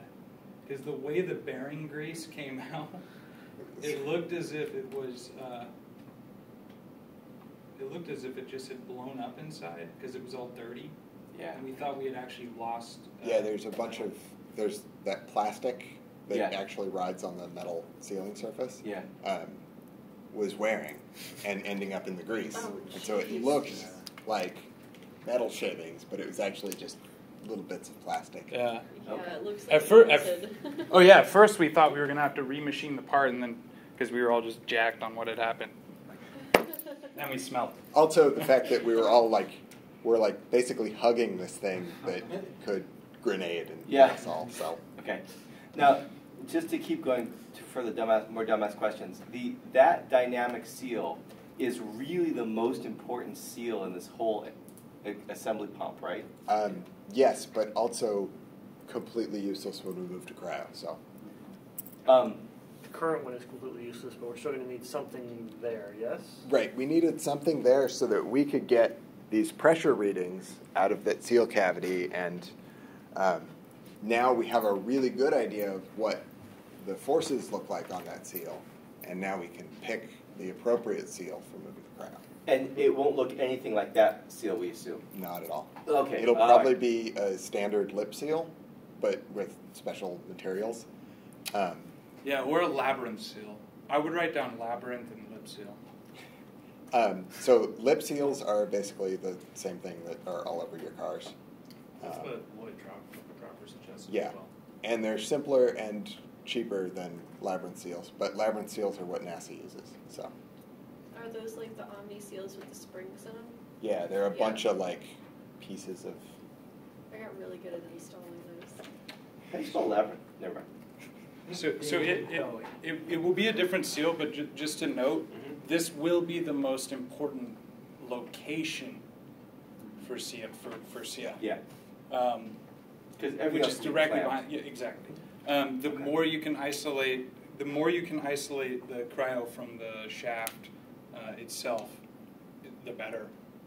Okay, um, you guys found out something very important, which I want you to talk about just a minute, which is that for a while we didn't think we could find a cryo seal that would work because the pressure was so high. Yes. And then you found out the pressure by measuring the pressure behind the, or the, I guess it'd be the, uh, what's it called, the cavity pressure. It was lower than we, we thought, and that's great. And Way so- lower. Way thought. lower. And what was that pressure? Do you remember? Uh, 60, 60, PSI. yeah. It was Yeah. about 60. Okay. Yeah, it was around 60. Constant almost. uh, yeah, that was one of the problems we were having. Is like someone was calling up manufacturers and looking for cryo seals just to like have an idea of what was available, and we were giving them what we were expecting initially, and they were just like ceasing communication as soon as they heard our requirements. Oh yeah, don't don't tell them the speed that the impeller's rotating. Make Yeah. your make your engineering decisions know that the impeller is rotating that fast and know in general what kind of seal you need, but don't tell them it's rotating at 20,000. It's kind of weird. They they literally would not give us information or would not go any further once we told them the speed because to them they have a light they have a lifetime on their on all of their seals and they have to represent their lifetime and they didn't care that we were we wanted 30 seconds we wanted 10 of these things and we wanted to burn them up um, Yeah. Okay. yeah And, and the 60 psi. So we thought we were going to be hundreds of psi or something Yeah. like that, and now it's 60, and that we can do that all day long. oh yeah Yeah. yeah Yeah. Okay. and it opened it, it's a wide range of of, uh, of uh, basically the seals are out there Okay. plenty of them it's a matter of what what type do you want to use based off of trade-offs and what And- location is And, and now I'm getting ahead, but I just want to understand this. Let's pretend that we're going to take this pump and we're going to do a cryo test with it. At this point, I have to remachine that one particular section that holds the seal, right? Yeah, you need a different, just this plate right here. Right, that one plate, I put in my cryo seal there, and essentially that's all I need, except maybe I need a special kind of O-ring because You the probably need to make the whole thing out of a slightly different material. Oh, that too. Yeah. What's it made out of now? Uh, Aluminum? I, th- I think I think uh, We could do the liquid nitrogen tests. Yes. th- yeah I, I'm talking yeah Definitely a liquid nitrogen test would just require replacing that one tank. Okay. plate. This could be ready for liquid nitrogen tests with very little modification. Does it need any modification? It does. I mean, well, it, the plumbing aside, right? The The Yeah. plumbing needs to be swapped out. Oh, you, I thought you were pointing at the motor. Sorry, just just the pump itself. No, yeah, no, no, no. Just the pump itself. I'm talking. Yeah. Okay. Yeah, I mean, the, your your major modifications are are your seals, your bearings. Yep. They go way up in cost. Yep. That's the limiting factor. Um, the impeller should actually be fine. Uh, the casing should be fine. Um, the diffuser would have to be machined out of Right. either. ma- eh, eh. I, I would almost bet the diffuser would have to be machined. Um, We didn't get around to testing that. Yeah. Well, no, I mean for cryo. Yeah, we didn't get around to testing that. Oh, you mean dump dropping that in the? Yeah. Oh, okay. I mean, Uh, yeah, I don't know. Eventually, we want to pump LOX with this, so yeah, it, Yeah. it should be machined. No, like, definitely, probably going to need to figure out a way to machine them out of brass. brass. Okay. Definitely, probably. Okay. Thank But you. yeah, I I, uh, Yeah. I can give you a whole one page thing on what would have to be done for LN2. Yes. Great. Thank you. Keep going. Yeah. Is there Okay. that green volume, by the way, just out of curiosity? Hey, we had no idea that was representative of cryo fluids and not. We did Oh. this for looks, Okay. and then Aaron was like, "You should have made them both green." Yeah, otherwise it's, otherwise it's fuel and. and But is there Yeah. volume? Yeah. anything This particular? this presentation was made Sorry? for people who don't. It's room Go for to the engineer. for the Rockets. bearing. Yeah. Okay. Who don't rock it? Who don't rock it? Uh, yeah, so this is one of our other major uh, needs to be fixed. Um, this functions actually quite well, It works. It's a retina, and it works. It, it but well, it's giving Andrew an aneurysm. Actually, microstrokes. well, we, it, uh, It works. under it's certain certain circumstances, we had to throw most of the the controls together in a very short period of time, and this works, but it's crazy to look at. And uh, It- this it's not. This is not transferable as of right now. Um, I- this is what needs to be really worked on uh, for you guys. We'd like to really clean it up. We'd like to change a few things, take away a few things. Any input from electrical engineers, if they want to, uh, or or or any of that. And then the code needs. The code is is a is Salvador written in James language. Uh, this I brought in as an example of that. This was James's, also James's brilliant work, where he. So the in order to actually communicate with the motor, this needs to do like a handshake thing to pair it with the motor, but we didn't want to use this not very accurate throttle, and so this was made to do the handshake and then unplug and plug into a digital potentiometer. Yep. That was amazing. fine for testing, but if we're if we're if we're talking rockets, uh, one of the challenges that we, we couldn't overcome, uh, as far as the electronic speed controller. I mean, like like he was saying, it with uh, with the handshake, there's all sorts of weird. Follow these three beeps, do this, unlock this thing, and. Uh, Left, left, right, right, down, down, Right, up, up. right. And, and, and the thing is, is, is that would have been okay, but it, it dramatically interfered with our ability to um, have the control over the, the motor set speed that we wanted. Um, if, if somebody has any idea how to circumvent the need for, uh, The controller. well, just Yeah. to get a, get away from the handshake, because we, we had a we had a full setup with a potentiometer to send a, a, a pulse width signal to the motor and start it, but we could we could never do it because it, it would we couldn't initiate that. If we did the handshake, we could then. I mean, we do control the speed of the motor with an Arduino and a potentiometer.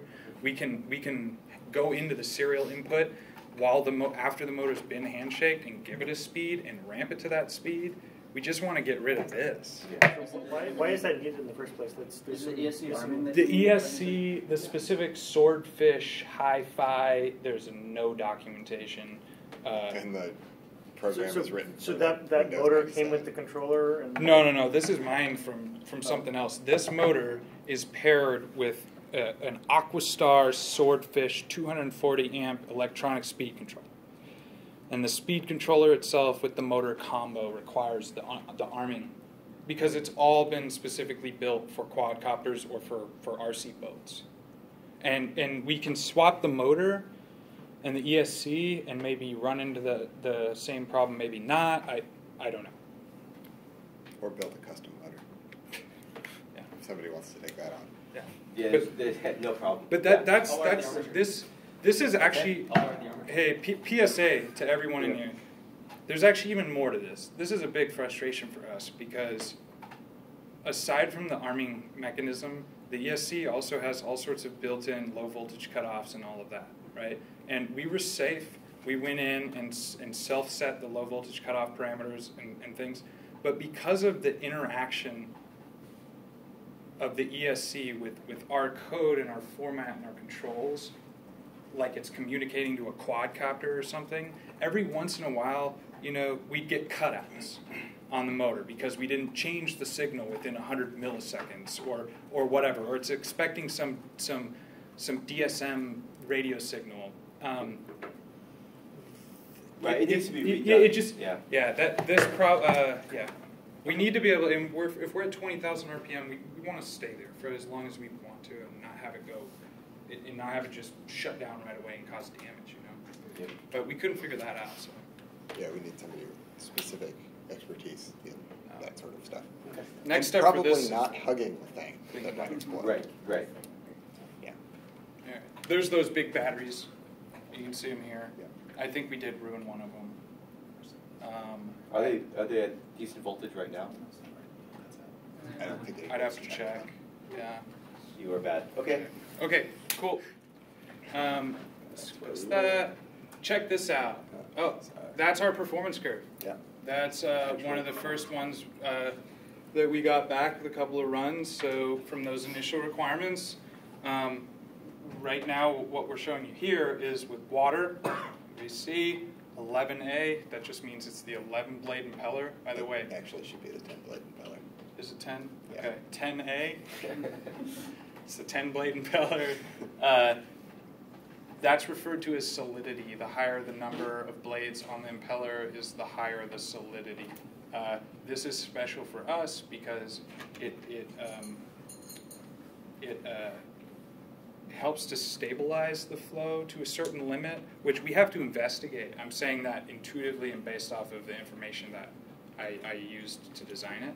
We need to confirm that that's actually happening, but that's the goal there. If anyone was wondering why there's different blade numbers, um, uh, and there's a lot of other things with the impeller, but yeah, there's the, so 10A uh, diffuser is the eight degree diffuser we used on this. It's just the diffusion angle.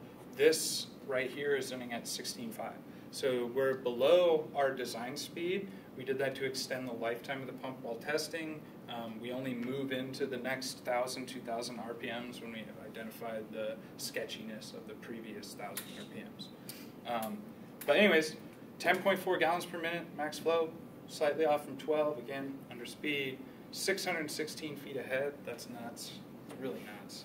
Uh, people came out expecting to see like a pressure washer and just like shooting this laser beam jet stream 500 feet across the Portland State campus, but like it was really disheartening for us because we were like, no, you guys don't get it. It's not about that. That's a free jet. It's going straight to atmospheric at the end. It's going. Uh, we were, like, we were like, what, what you got to know is it's going from 45 psi right here to over 300 right here, like two inches, right? The minute it goes here, just.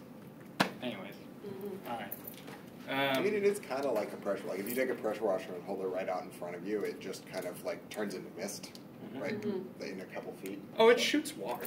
Yeah. Yeah, water. we can't la- we can't water jet cut with this in the LED. You know, you Uh, can't cut. if we put the right nozzle on it, we might be able Okay, to. next time. Yeah, change the Will nozzle. we ramp it up and turn it into a weapon? Legit question. The best super It legit ever. is already a weapon. I mean, you could put just put like some, just make it a flamethrower. Bad- whack bad. someone with it. We're going to eventually. A very fast flamethrower. Fair enough. Anyways, 11.4 inch pounds of torque, 2.3 kilowatts. But here's what's really cool. That is 42 exactly what we expected to. 42.8% efficiency. We designed the whole thing based off of 25 to 30% efficiency, and we're getting back consistently under these operating speeds about 42.8. So that was pretty cool. That it, it, believe it or not, in conventional pump design, efficiency is, is everything. It's all you want. You just want efficiency for a ton of reasons that like. You guys, I'm really old in, inside. I go to bed at like ten. Um, so for reasons I'll explain to whoever wants it later, uh, with with these Barske, partial emission types of approaches, efficiency is not your ruling factor. It's kind of a more like requires kind of a more in-depth ex explanation, but this is really good for us. 42.8% efficiency is really good for us, for the whole, the, the squad. Mm-hmm. That's great. Cool. Oh, and we saw the behavior we wanted to see. This is normal pump behavior, um, which is just an awesome thing to happen uh, after what we were doing, but we can identify from these curves things like shutoff, which is not going to be relevant once we strap it to the to the rocket. But as far as pump operation, these are the types of things that tell the next generation of PSAS engineers don't go past that. Don't uh, don't even bother over here, you know, because you're just you're done there. So the, the, those are the types of things we're really we're trying to give give back and, and produce more of. Okay. I think this is almost done. Oh yeah, that's some cool stuff. Again, I just really would love people to go into the science. If people, if people take on the project just like start diving into the science, we had to do tons of engineering, tons of design, tons of machining, tons of fabrication. Never really, we, we haven't got to scratch the surface yet with the data analysis and science. So, uh, you know, we were seeing really cool stuff. Uh, slightly higher discharge pressures for higher blades, which is great. That uh, that means you're going to have higher efficiencies with higher blades to a certain extent. But we get really low, ch- lower, ch- not really low, lower chamber pressures um, with six blades. So maybe when we're deciding like. There's this $2,500 cryo seal, and then there's this $1,500 cryo seal, and they're like 40 psi uh, uh, away from each other. You can save yourself $1,500 or $1,000 by dropping the blade count down as long as you're not losing efficiency. These are the types of things we can figure out with more testing. Uh, but uh, yeah. This is this is Yeah. just caps or Jerry stuff. All right, can you bring up the uh, the EFS uh, GitHub page? Uh, Yeah. Okay. Oh, can we play a video real quick of just the sound? Of course. Okay. Because it sounds cool. I mean, it sounds like a thing rotating at 20,000. Uh, I don't know. I guess you can get more of an idea of get more of an idea of of, uh, of what's going on inside when you hear it. It's almost like seeing it doesn't do as much as hearing it. You know? I don't know why that. Huh. Broke it. Sorry. Uh, Hey, meanwhile, here's this back. oh, thanks. Yeah. Uh, hey, did I answer your question? I, I don't think I did as to why it couldn't be manufactured. It was basically for all those reasons. Um, I can give you a more clear answer when I'm not in front. But this was the first first fire. Oh, this isn't as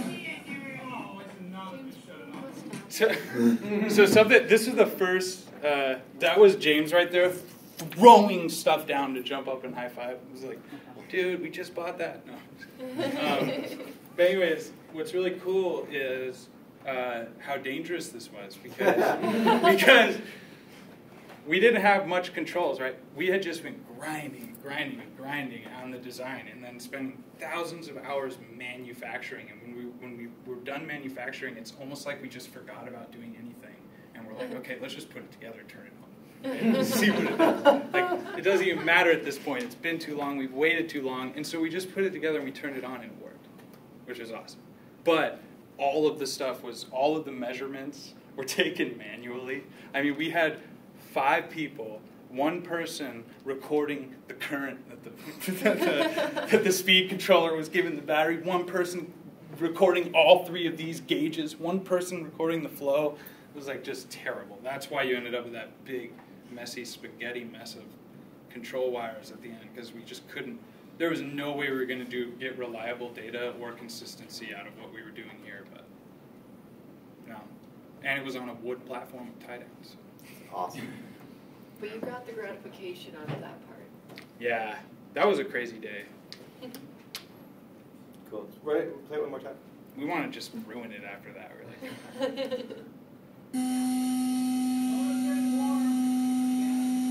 Yeah, you notice our uh, our motor temperature. Yes. there's motor temp, motor speed. Oh, and there's where I. I'm pretty sure I had my hand on the That's- side of the tank to tell where the water level was. There was Very no. sophisticated. Yeah. You, you heard me yell at the end. Like there was no way around it because we, we were still with this and didn't even have the potentiometer. So like I li- I literally manually just tried to move the motor up, and then we got so excited I just yeah just shut it off. All right. So what was the danger in shutting it off like that? When you said, I should not have just shut that off like that. So there's quite a few. Uh, one of them being that um, you're going from uh, you're going from a, uh, a dynamic state that you've worked up to and has a has a well-defined sh- shutdown process um, to basically uh, a complete stop. I mean, it's like a it's like a car running into a wall. The impeller's just going 20,000 RPM and it's stopping immediately. So all the forces acting on the impeller become, you know, can become slightly larger.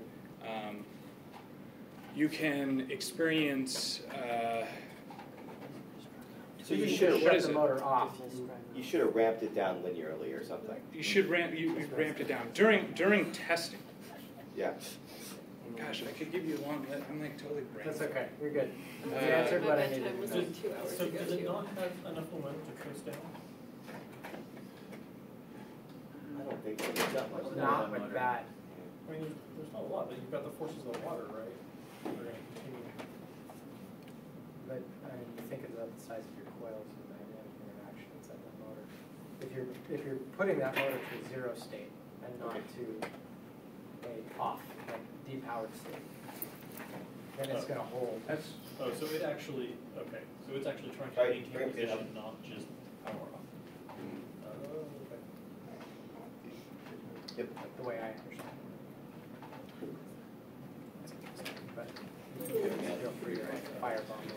I mean, especially for a quadcopter, like, you're never gonna wanna just suddenly Alright. stop it. I'm Alright. sorry. You would So- it would just depower Um, and down, but, uh, I'm gonna walk through the the um, GitHub repo, and you're gonna tell us what all the things mean, and someone else is gonna write down the important directories, and uh, basically you're gonna say, oh, that's not important, that's not important, that's a version, blah blah blah.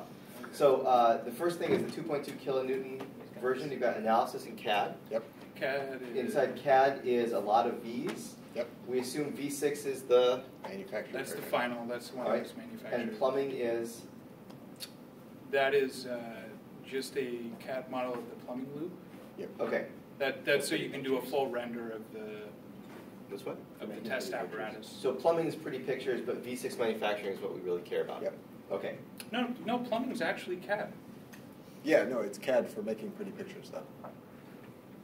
Did you guys Okay. ever make a pretty picture of the old? Yeah. Yeah, we there's had some we had pretty pictures. Yeah, we saw pretty pictures. Yeah. Okay. Uh, inside analysis is uh, notebooks. Yep. And that's great, so we got a bunch of notebooks. Yep.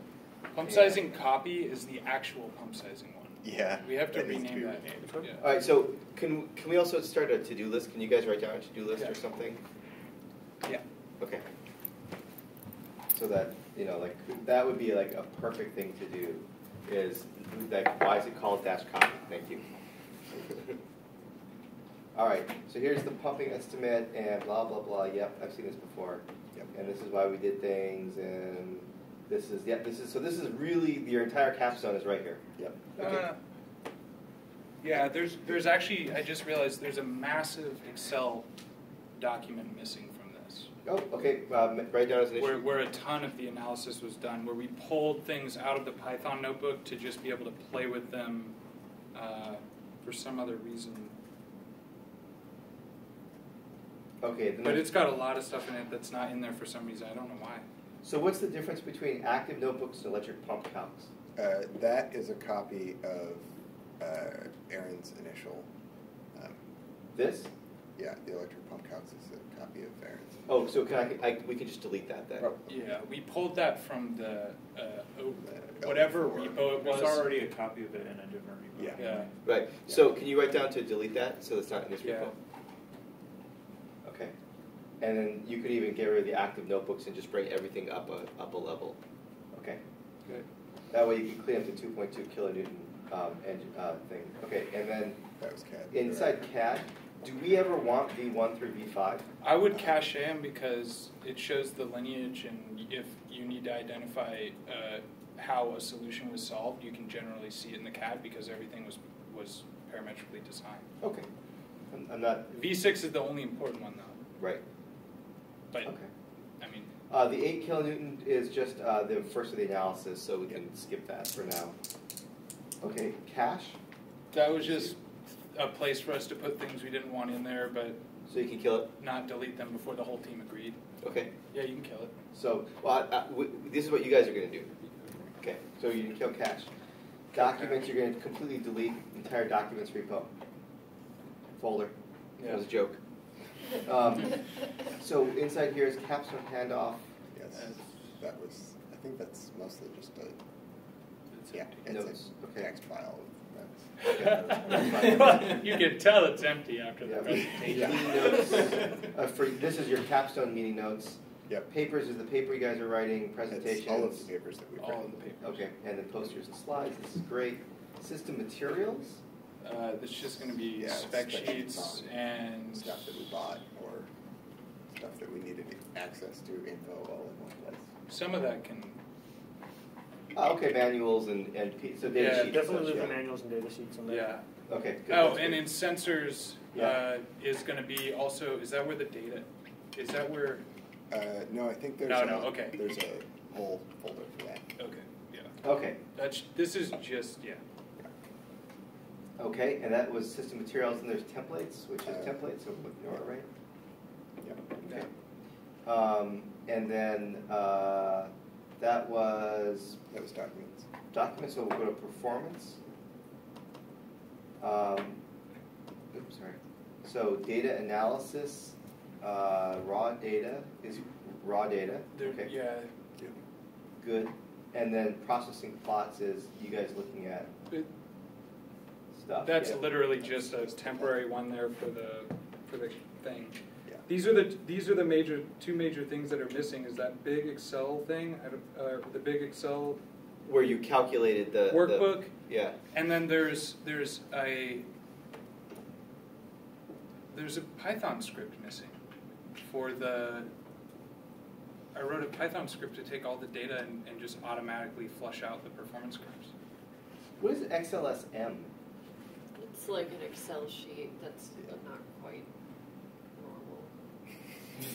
I understand it. It's, it Basically, it's an Excel. it's an Excel sheet. It's a macro is an XLS, I think. Oh, Hey Andrew, yeah. this uh, Yeah, you should. we were having we were having issues with GitHub. I know what happened to this. Okay. This is an old folder. I need to put the new folder of the processing plots in and remove that folder. Okay. Okay. Cool. And then operating code is That code. is the, the Jane plan. Um, Well, these are going to be the calibrations Oh, yeah. for all of the sensors. Gotcha. So you can recalibrate the sensors or Gotcha, or, okay. or um, and then the actual operating or the master code is the, the operating code of the test apparatus. yeah. Yeah, Okay. And those are uh, Yep. Okay, so all the code for the Arduino's down in operating code. Okay.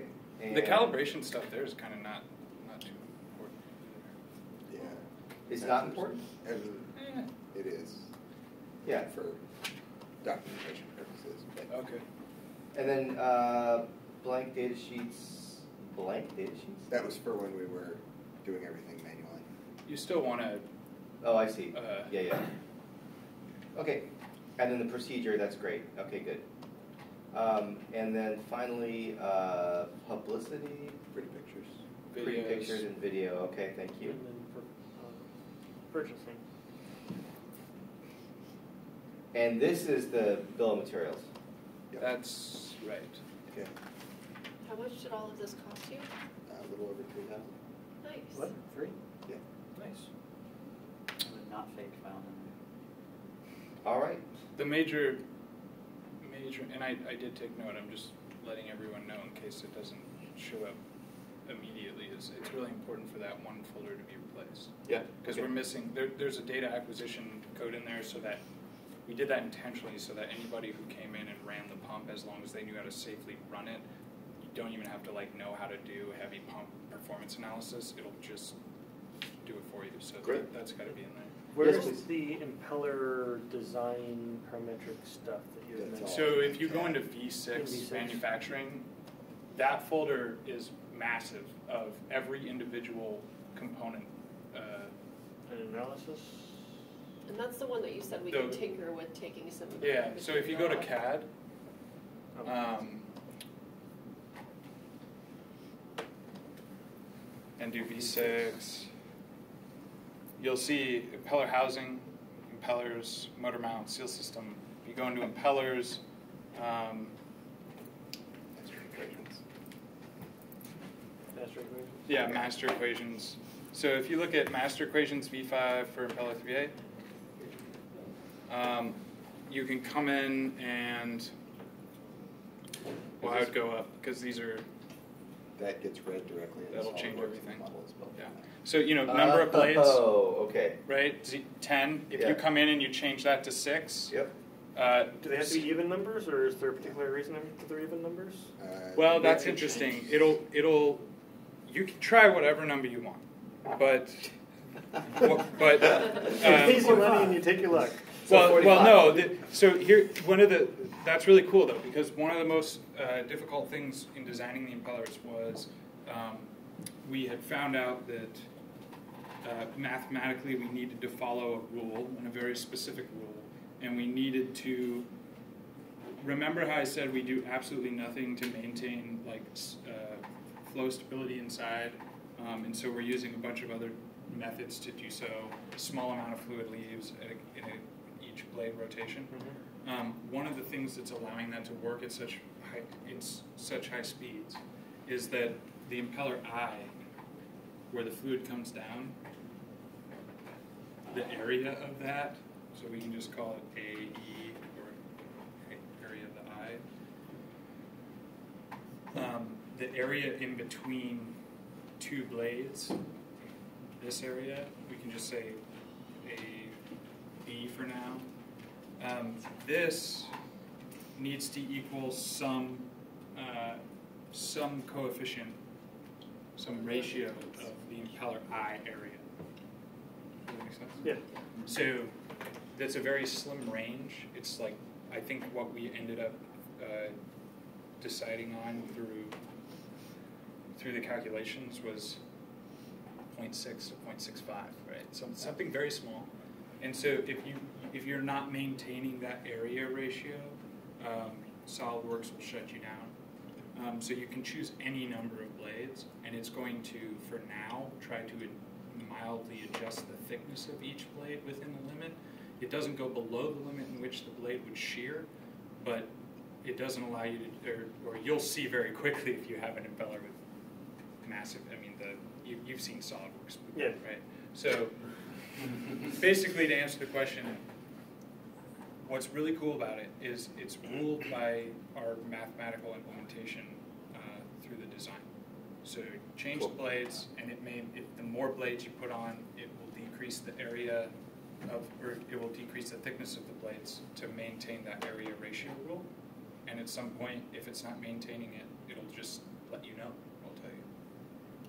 I'll tell you. All right, what's missing from here? You've already uh, said that one Excel spreadsheet um, and that one folder. I started writing a document a couple months ago, uh, a Q&A document. Oh, cool. Um, That should probably I thought- be worked directly into the README. Yeah, I was Yeah. super, I was I, tr- I tried to be really really good at avoiding the, the Greek fire and and putting everything in here, but uh, I guess I did forget a couple things. The the Q and A document's one of them. I started writing one that just That's great. okay. So we'll, we'll throw that in. Yep. And And then, uh, is there any Google Docs that we should know about that's not part of this? Uh, that I put all in there, that's where the meeting notes. uh, we we Awesome. Everything. Good. test procedure. Uh, Uh, Hashtag impressed. There are also these, which are uh, Oh, yeah. manufacturing uh, jigs and such not. They all have part numbers. Oh, yeah. Where are they currently going to live? Wow. On a shelf, probably. On the shelf. Can we make sure that, that they're like in a box and labeled with exactly what they are? So that We- we're not like, we have a part number, what is that? All right. So at this Yeah. point, Yeah, but there's not But a box. at some point when we're like, you know, digging through and arc, you know, with our archaeological tools to figure out what the heck this was, um, yeah. I don't want somebody to pick that up and say, hey, this looks like a really great piece of base metal to make something Right. totally different out of. Yeah. so so here's the next question. Um, it's it's ten o'clock, Yes. um, which means we should probably break. Um, what I would like to see is I'd like to see this opened up so we could look inside and then put back together. Schedule something to actually sit down and do Yeah. Because there's a process to tear it down. Right, and we should see that and maybe document that process if it's not already documented. Uh, Talking about opening it up. yeah. Um, but let's not do that tonight. Let's actually call it quits tonight and then reschedule this to open it up. Um, can we schedule what? I I would be willing uh, if people wanted to come to like say next week's meeting, Mm-hmm. like 20 minutes earlier. I'm in the rocket room like five to six o'clock, so like six o'clock we have a propulsion Okay. meeting. The propulsion people should be. with this So also. let's do Well, that. what I was going to say is I can have this all set up, and and we can actually operate it. And if there's anybody who wants to like watch the pro like. And it's, and it's a quick process. This isn't hours. I mean, like you know, the f- the five minute quick step of turning it on, priming it, firing it. I mean, we could do that because there's no way uh, we're going to turn this pump on tonight. Could Um, you come in an hour early and we Like six could o'clock next assemble it and then turn it Yeah. on? Yeah. Like six o'clock Yeah. next week. Yeah. Yes. Yeah. So we'll we'll we'll disassemble it, we'll reassemble We'll take reassemble it, pictures. and we'll fire it. We'll do some selfies. Not the same. So, uh, By the way, here's that question and answer thing. Just so you know, it'll be in there, and this will give you way better. Uh, I, I wrote these out so that I didn't have to tell people in front of, of a room. So you you, you, you, you know, there, there's more and there's a bunch of them, and uh, that'll help. so can I suggest that we meet at five o'clock um, on uh, Tuesday, next Tuesday? I'll be here at five. Mhm. Okay, so two, so we'll do um, five to seven with for a demo of the pump, and then we'll go into the tank, which will you know then we'll need to reschedule a tank ta- a tank demo, but that's fine. Um, that's great. All right, thank you guys for doing that. Um, Looks yeah, congratulations.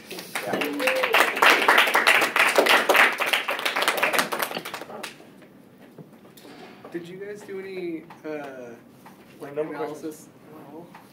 No. By the way, Andrew, if you want, if you want to, if you want to have that printed, that's Did the you cool eye candy version of the, the top of the housing. That's that's the Did flight. That's the flight weight with, design. uh, there you go. Okay, good. Like how the tolerances Oh, are going to printed with the diffuser. got launched in a rocket. Yeah. Ah, okay. Nice. So once we do all the testing on the diffuser.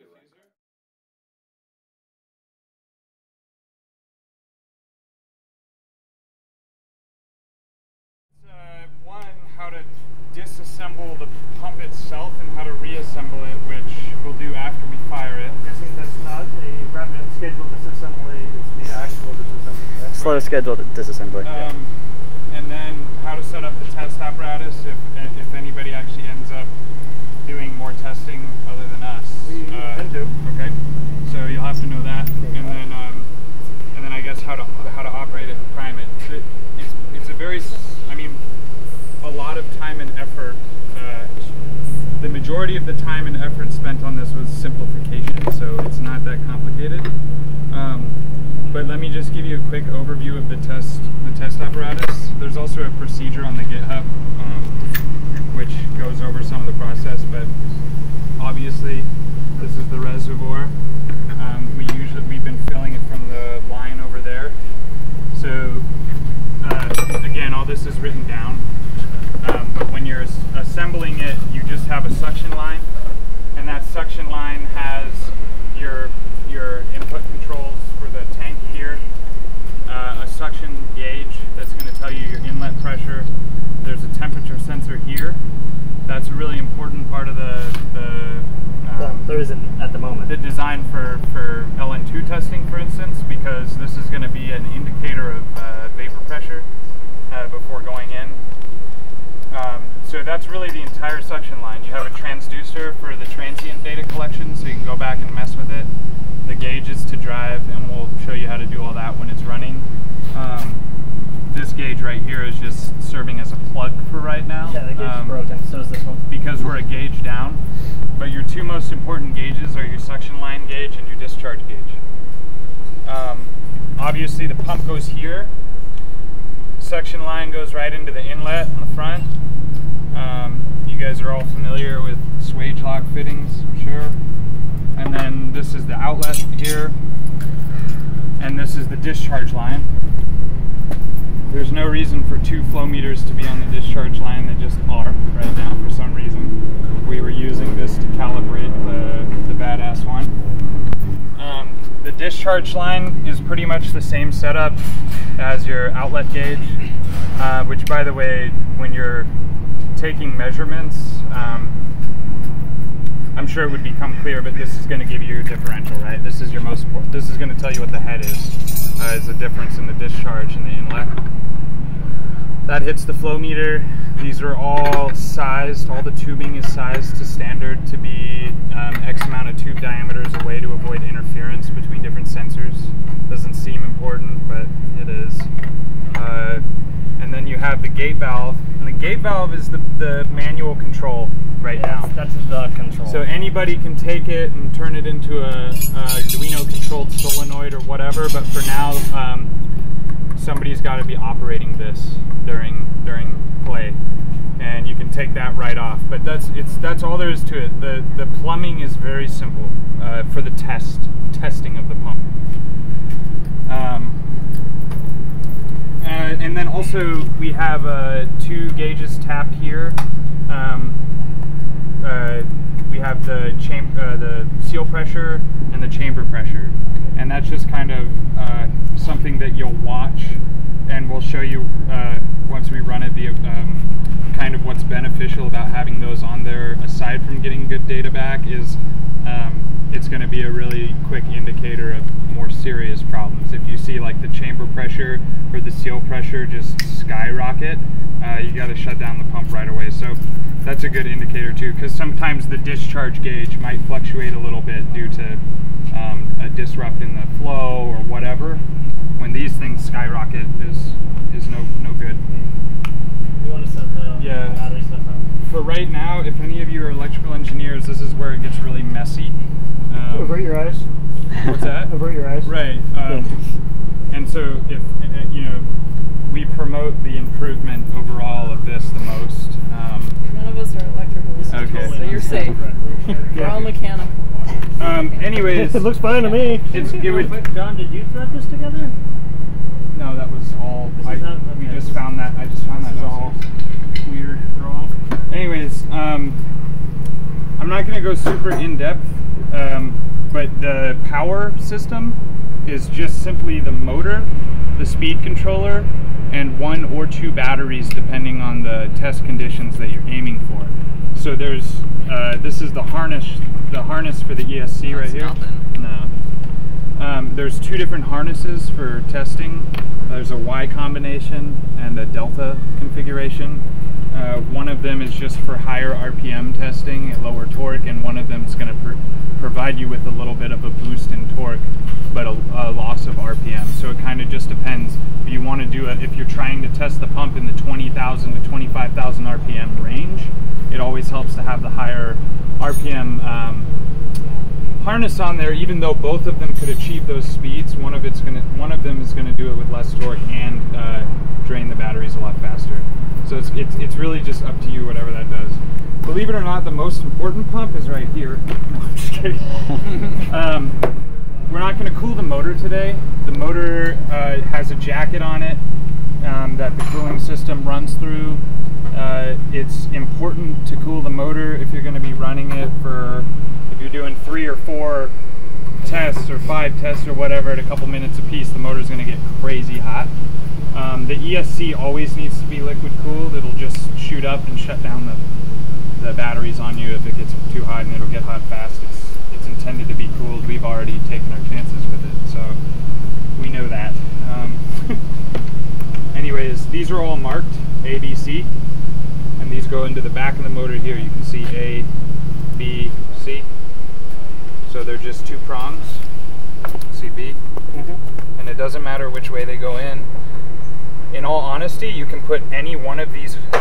You, you can put B in A, you can put B in whatever. It's not going to ruin anything. But these are marked for the purpose uh, of us knowing that in in this configuration, it's rotating. The impeller's rotating in the correct direction.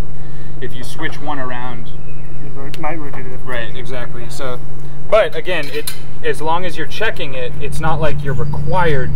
You know, if you're messing around with the harness or you're changing the harness, it doesn't care which which ones go in there. Um, and I'm a little uh, ashamed to say it, but we're using this right now for our cooling. Again, we're not No, no, no, electrical make some, great reservoirs. We're mechanical engineers. I'm gonna grab water. It's it's such small. That shit the bed. Um, and the, just the controls. It, in all honesty, the controls work. I mean, they they do what they're supposed to do, but they're not suitable for friendliness or safety or uh, cleanliness or any of that. So. And for anybody who is going to be working on controls, we were using it manually so that. So this is like RC stuff, right? Like the the speed controller on the motor is intended to be hooked up to something like this, and this was not sensitive or was too sensitive and not repeatable. So the Arduino setup has like a knob, and you go to a particular zero to one hundred percent load setting on the motor.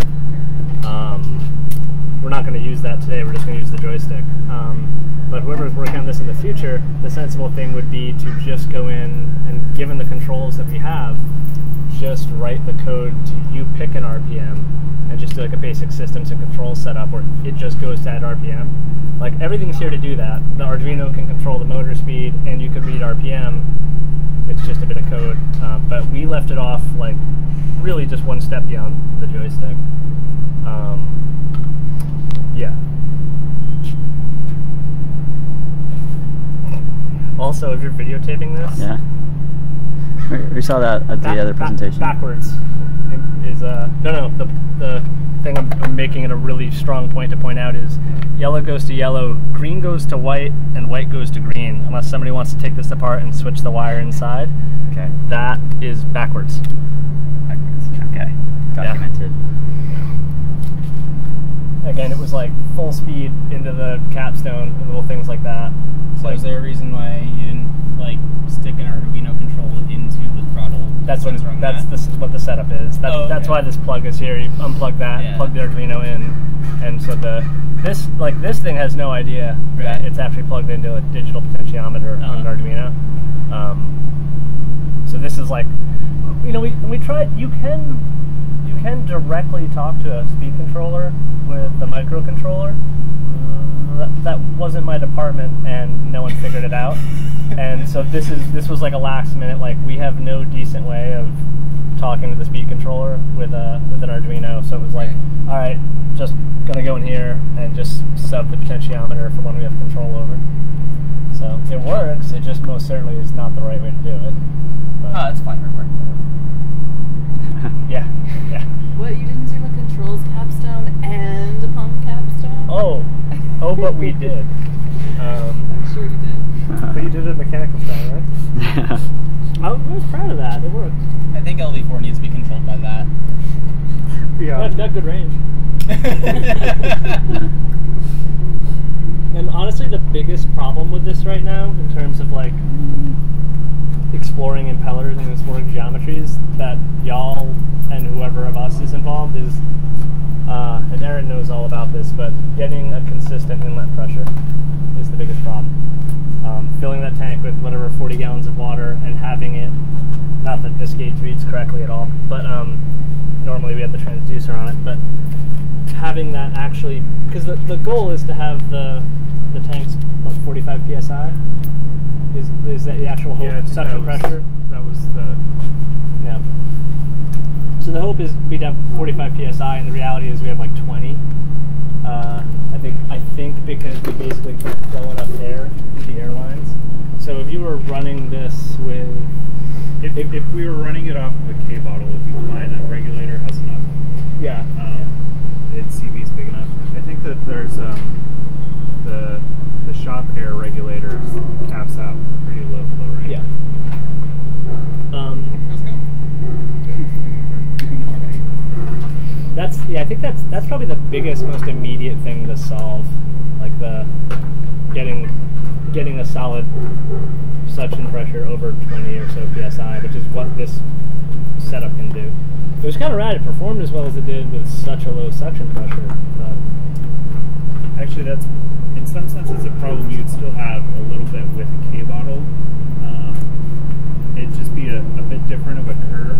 These regulators all have droop, which means that you know, when there's flow going through them, their actual um, the, the pressure, uh, the regulated pressure changes is according to the flow rate through them, and there's some hysteresis, so it's different going each way. Or is an alternative way of saying that that when they're near the pressure they're seeking, they lose flow? One way you can see it is like if you've got a dial gauge showing the pressure um, with a valve. If uh, when you like cycle a valve, you'll see the pressure go from what the nominal set pressure is to something a little lower than that, and that Yeah. difference is the droop of the regulator.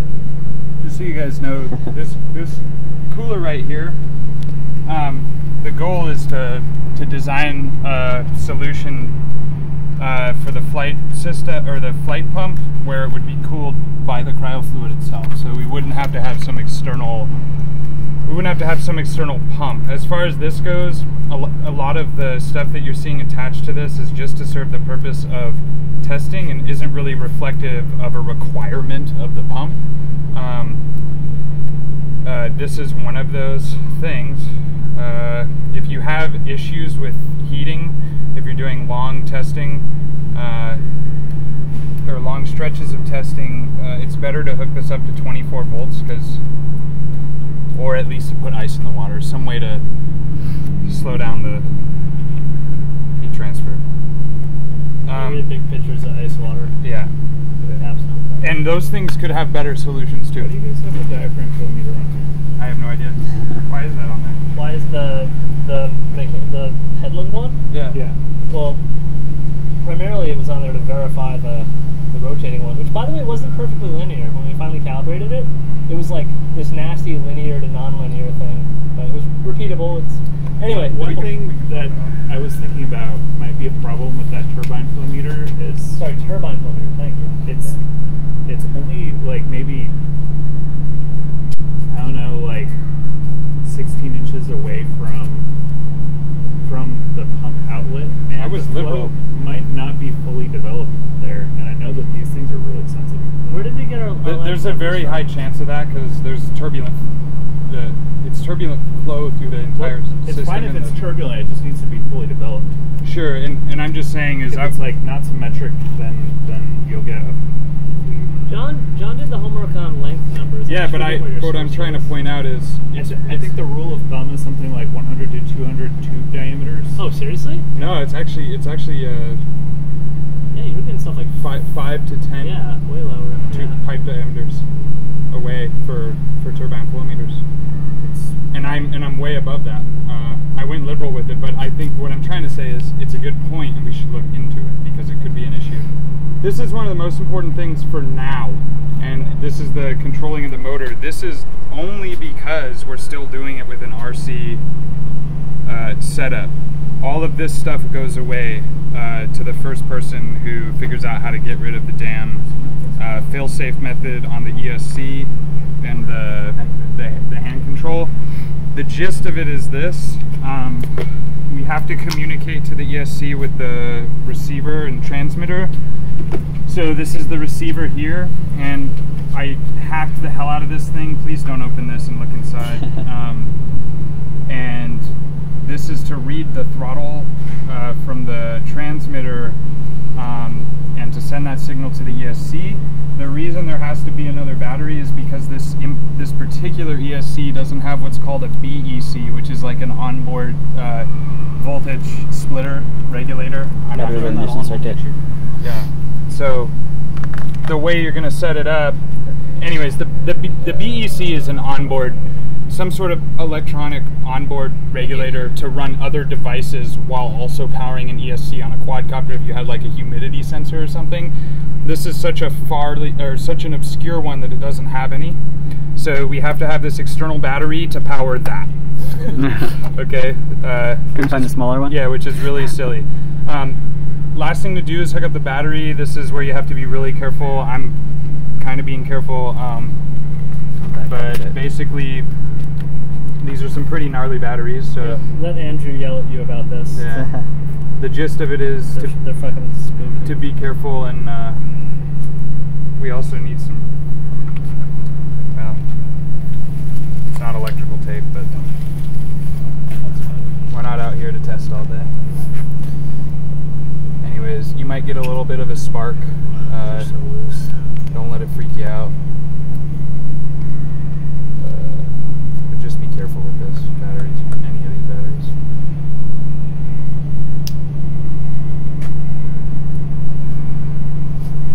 Um, Make sure it's not getting hot.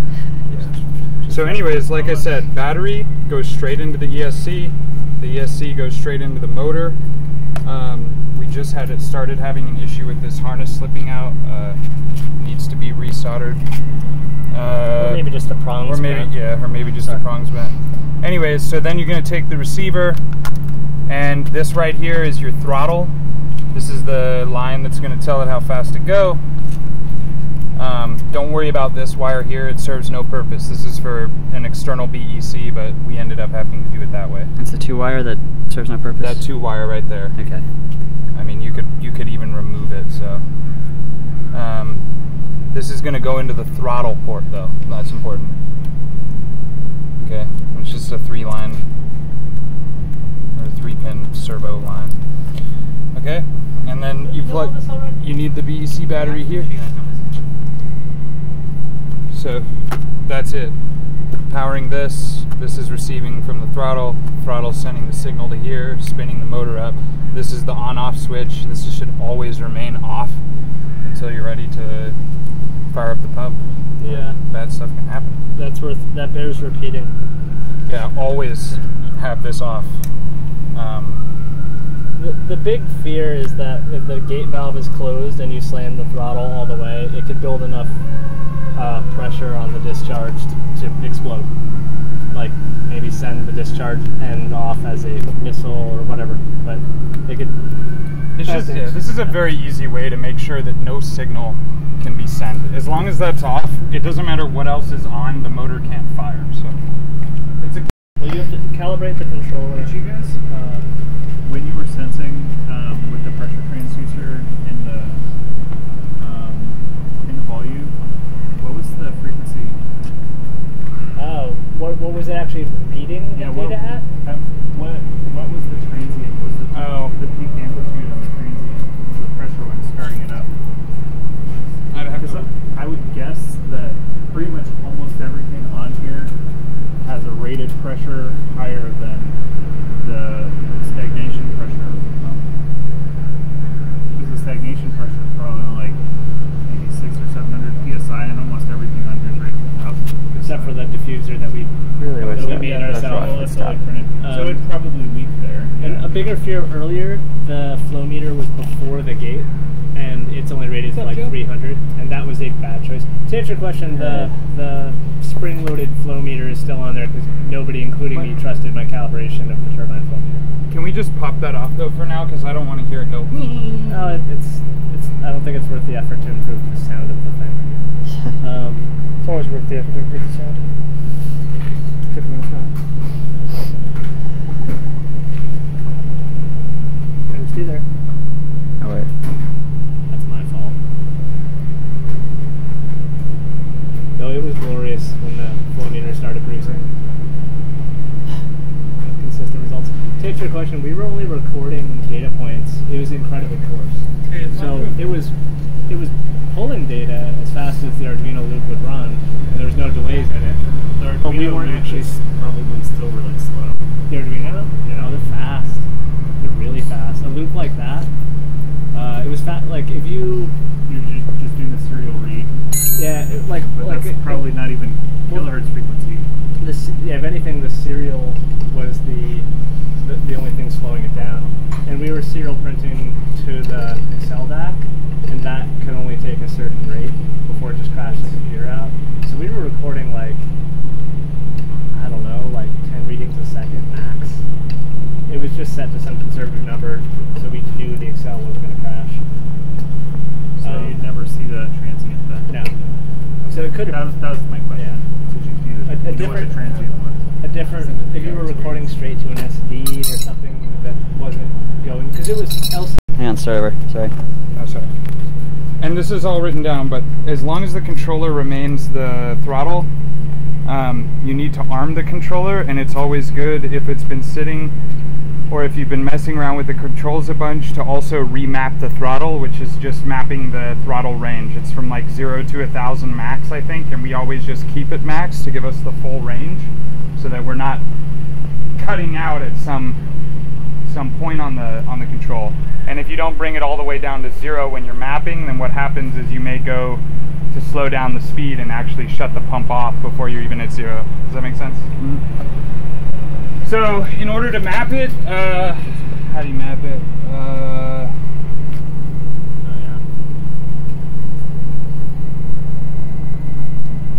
okay, mapping is Start at full throttle, right? start at full throttle, and then the the kill switch here goes on, and then you power on the transmitter.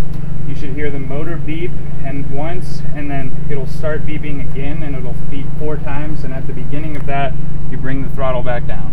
So It's basically this is it. on. This is on. Yep. Cool. So you can bring it down right away as soon as you hear that second beep. Turn it off, and now it's mapped from 1000.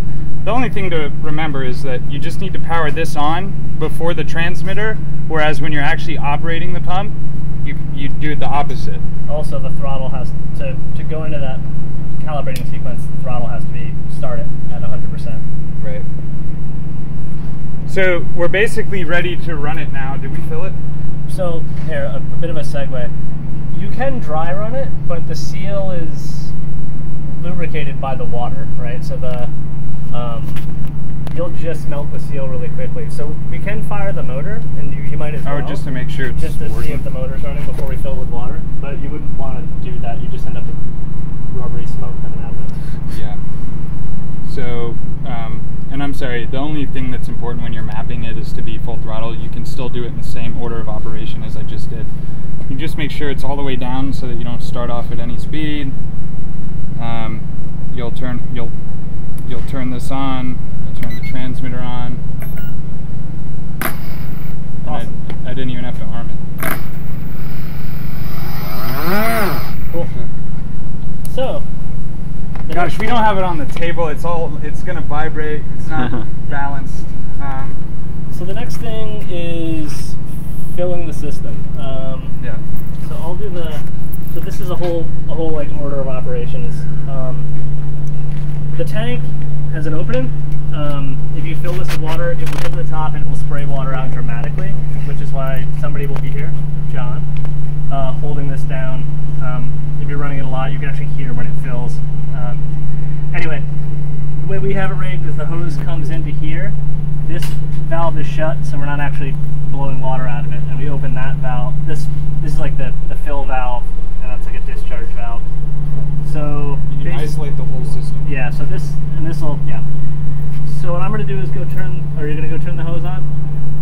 Hey, by the way, guys, the pump took a long time to build, right? We had to throw this together to get Dave. Yeah, this is all- so when he says there's no cap on here, it's gonna shoot water. I mean, it sounds like. it Sounds like you guys ready to do yeah, this took 11 months or whatever, and then all of this took like a month. so what's the valve order on this again? What's that? For, what's the valve order Um, for filling? Keep it when you're filling. I guess the rules are Mm. well, the suite, the air, the airline has to come off. Otherwise, it's you know a closed Right. tank. Yep. Uh, so he's opening the hose. Water will start flowing in. Uh, it's not going into the system. So. Okay. And it's like miraculously not spraying water on me. Well, something's broken then. And when it starts spraying water, which it'll definitely spray water, I'll shut this valve. okay. But it takes a couple minutes.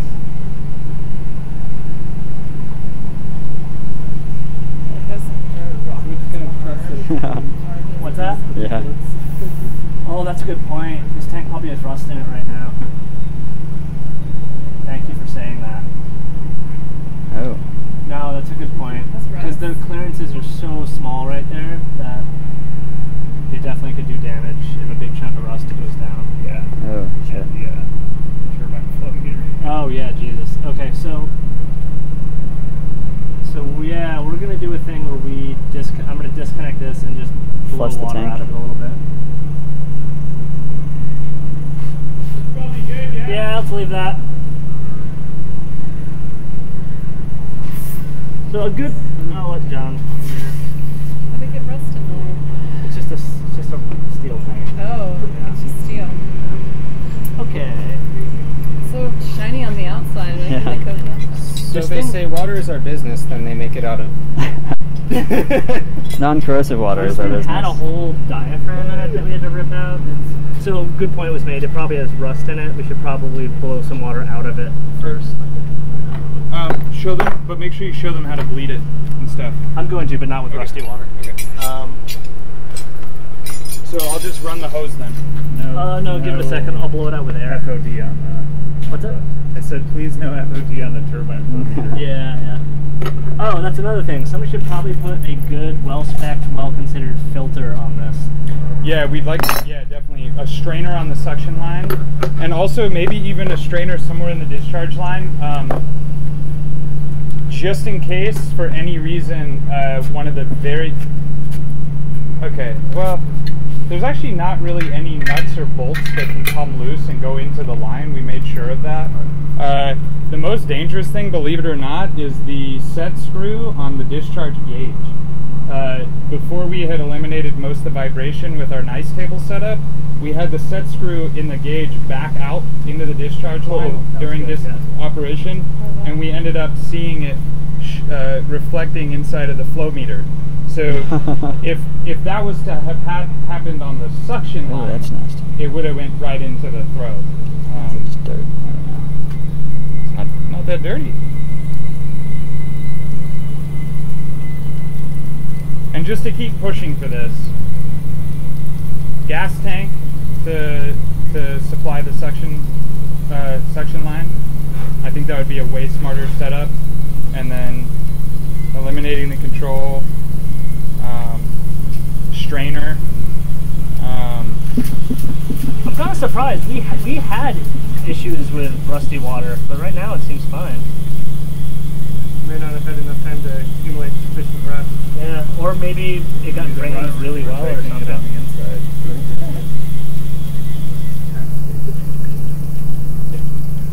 Yeah, whatever. Okay. That's well, that ends well. Um, what's up? trying to remember if there's anything still loose that I didn't tighten down all the way. Everything should be pretty tight. You tighten the discharge line. Where did I've come te- I, that's just me right now. Everyone's probably noticed this, but this, the easy way to do this is not to unthread the like Teflon fittings. The Swageloks, you, if you just take the nut off, they're kind of, if you look at this, the actual like tapered part, that's never coming off of this piece of aluminum. Mhm. Like, don't try. It's just, gar- it's just garbage now. But for, if you tried to take it off, but you could just do this and do that over and over, and it's, been fine. So yeah, that, you definitely don't want to break it apart by like taking the you know the threaded fittings out. And in case anybody missed it, where you're looking for water during operation is if you start seeing it on the plate right below the body of the pump. Yeah, there's a there's a vent. If the seal fails, there's a vent on either side, uh, so that the water doesn't get blown through the bearings. Um, You should never see water come out of there. So if Yeah. it does, it's time to take it apart. okay, so we have water in the tank, but it's not in the system yet. So the next thing to do before you're gonna fire it, this is closed, and what I want to do is bleed the air out of the system. Oh. Oh yeah. No worries. That's not bad. Sorry. No, you're good. Thank you for noticing. So yeah, the next thing I want to do is bleed the air out of the system. There's a couple little hoses that make this convenient, but basically the reason for these two valves, this one lets the uh, air out of the out of the uh, seal area, and the seal should be wet, right? It would just burn up otherwise. Um, so if this is open,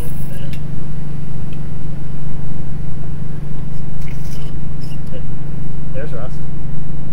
Hmm. It's a little easier when you have a hose and you can see when when it's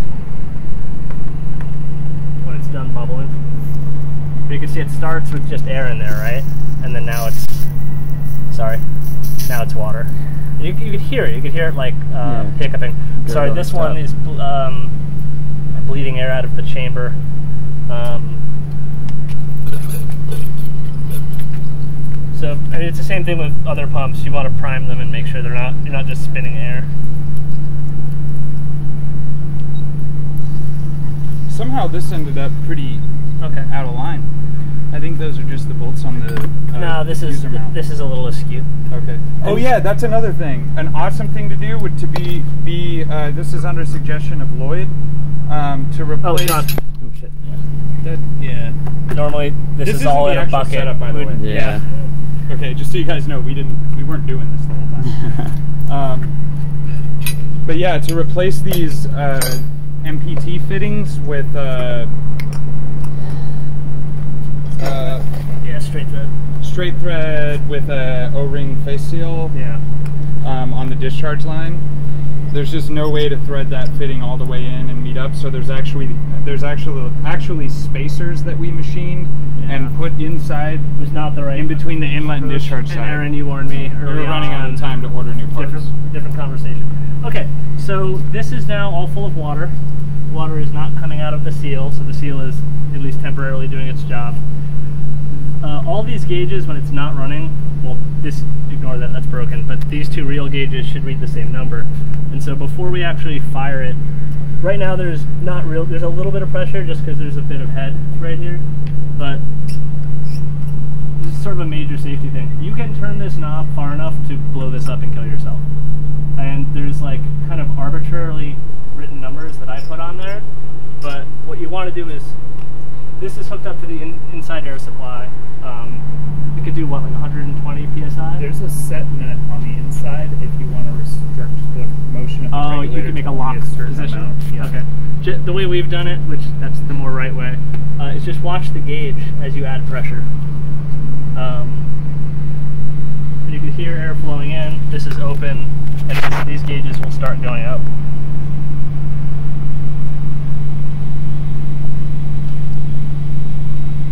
And this gate doesn't really close because it's not a ball valve, but doesn't fully close.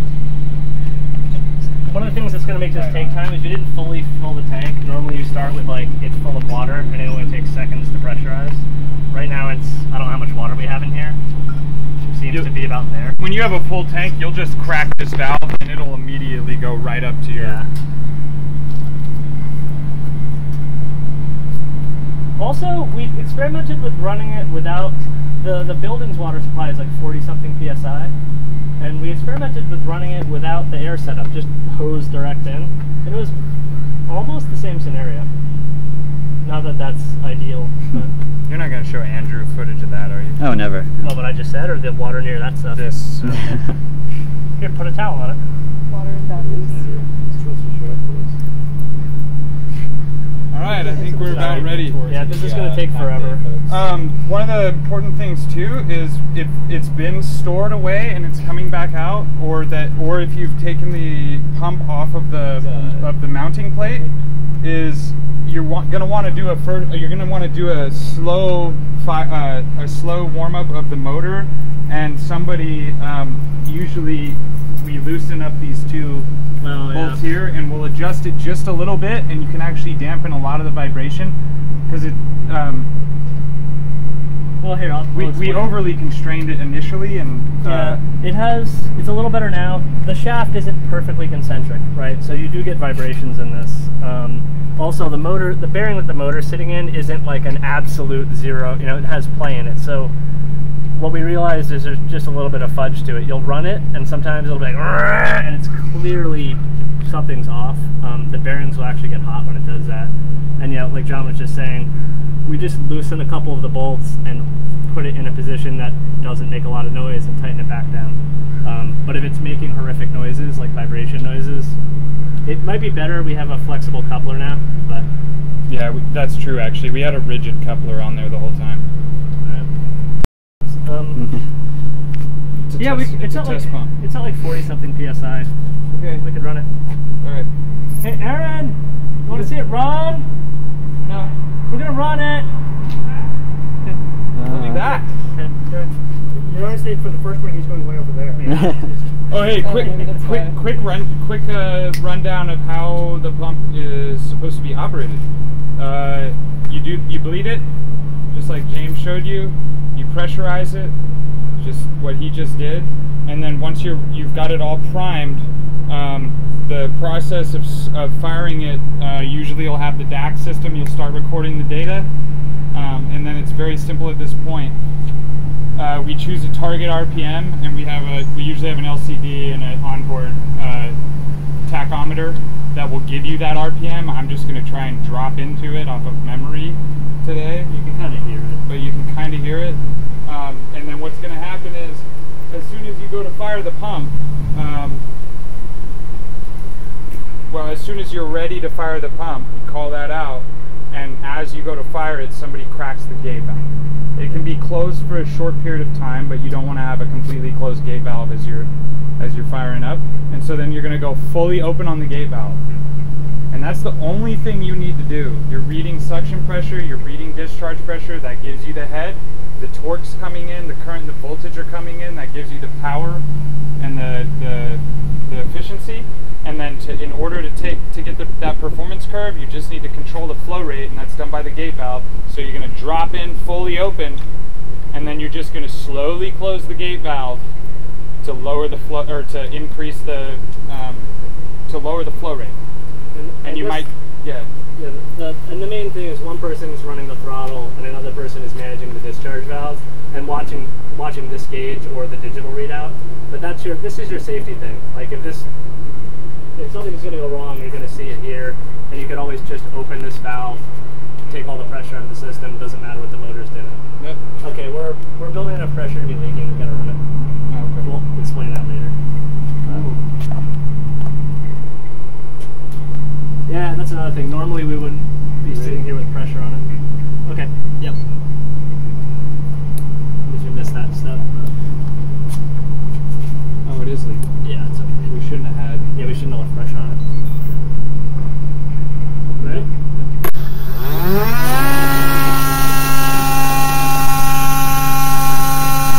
We're at like 150 psi. We're out of water. Yeah, ran out of water. That was it. Yeah. if we filled the tank, you could go longer.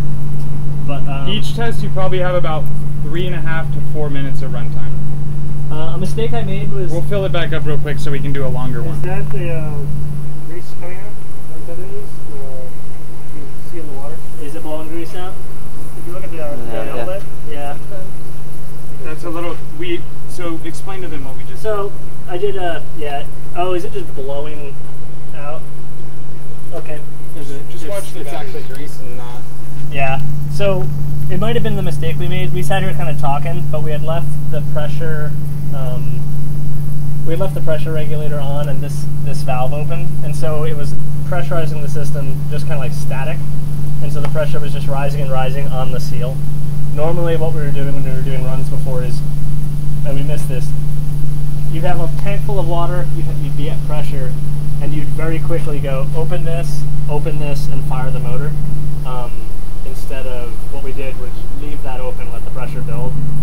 It does worry me that the seal was just leaking at like 60 or 70 psi. It should be able to handle more than that. I just assembled it. I don't.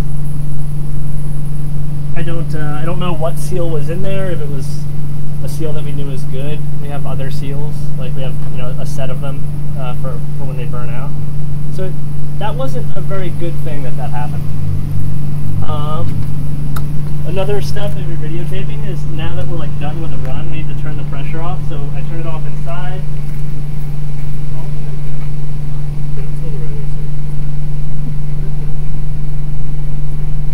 Yeah. now we have a big pressurized tank and we don't want the pressure.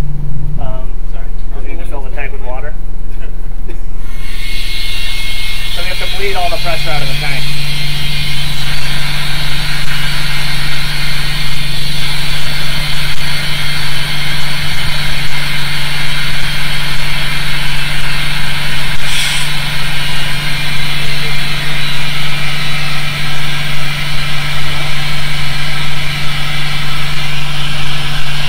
Yeah, that's actually the only the, only the second time there's been fluid that has come out of that. Yeah, and it was the same thing both times. Well, no, there was the over rev. So we, we over revved it once, and that made fluid come by the seal, and then we left it pressurized before. I'm not sure of that seal though. It looked it looked pretty ragged when I put it back in. Moral of the story, and this is actually the standard way of doing this for any pump, um, is never to just leave a static pressure on the seal and, and not be running it. Um, it's, we forgot. Anyways, crack that, crack that fire on. Oh yeah. I've uh, opened up too many quickest connections right here. Yeah. Yeah. Already filled. Getting ready to pressurize. This time we'll do it right. I saw some video. One of those like live news channels of some some Russian like Good? professional blocks. Oh, that's open. Just like his Boom, shirt on, tweeted. that You he guys are said online. he was into the lock. It's just like on paper or like like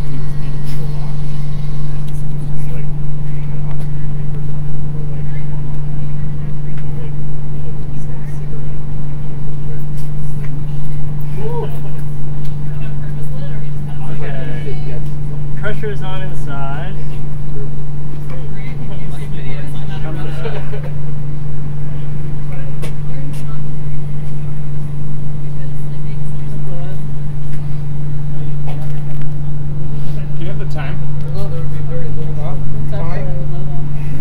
647. Oh, fine. So are you pressurizing it now? Yeah, we didn't fill it, fill it, so it's lost it as an air cavity. Oh, you're still pressurizing the tank. Yeah. Well, I'm just turning up the air now and watching. Oh, no, you're pressurizing the pump now. Well, I, I'm, I only have this open because we don't have a working valve here anymore. Like when that was working, you could oh, do that with this that. valve shut. A lot of a lot of the disarray can be solved by some new gauges. I'm just my fear is that this is it's 75 is actually 120, you know, and so I just want to like verify, and it, it like tapers, you know, it's like now that it's getting close to its setting, it's it's going up really really slowly. I just want to make sure we're not over 100. By the way, Okay, it, the, you should be. The right way to do it is to to leave the tank isolated until you're actually running it. Uh, again, because you don't want to build up static pressure, but at the same time, this can handle that pressure. It's it's the fact that the regulator is trying to regulate it and bring it up the whole time that it's sitting there and standing. Um, so you don't have to be you don't have to be like too worried if you have it open for a little bit. Uh, like I said, that's only the second time I've ever seen fluid come out of that, And now it's not leaking. and it's so- probably the seal that we just need to. You just got the seal all, you know, rehydrated. You might have, you might have seen it. Remember that part of the thing. And the order is going to be uh, inlet valve, all open the discharge, and John will fire the motor. Uh, do you already have the receiver on? So John's ready to go. So now there's now the system's pressurized. Open it up. So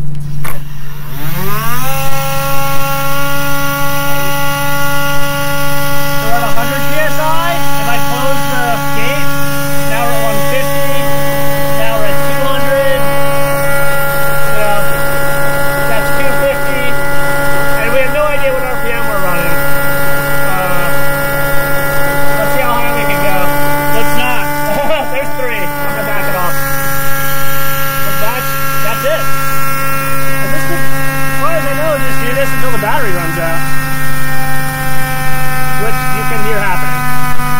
We ne- we forgot to charge the batteries, by the way. That's actually, and that brings up a kind of bigger point that. the slow cooldown? That was the slow cooldown. Yeah, understanding So you didn't do last time? failure modes of the batteries. Like it's programmed now to do that. Um, yeah. Awesome. Nice work. Awesome. just shut off. Actually ran really smooth just then. Yeah, it was nice. Because everybody's I feel like watching. it could have just kept going. You guys got good juju. You're Always welcome. have good juju. I mean, smooth is in the sen- in, in the sense of like I really expected it to be out of alignment. Yeah, it didn't make any. I, I thought we would have to realign it. You so I guess visually the last it very well. I guess the last thing we need to show you guys is how to break it down, right? Just Uh, it, the general idea. break it down for us. So the air is off break down. inside. Actually, let's just blow. Let's blow all the water out with the pressure we have. Right. We just we have to we have to evacuate the tank anyway.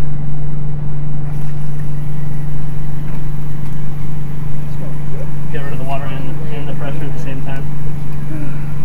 Well, that turbo pump's really quiet. The, tur- the turbine part's perfectly silent.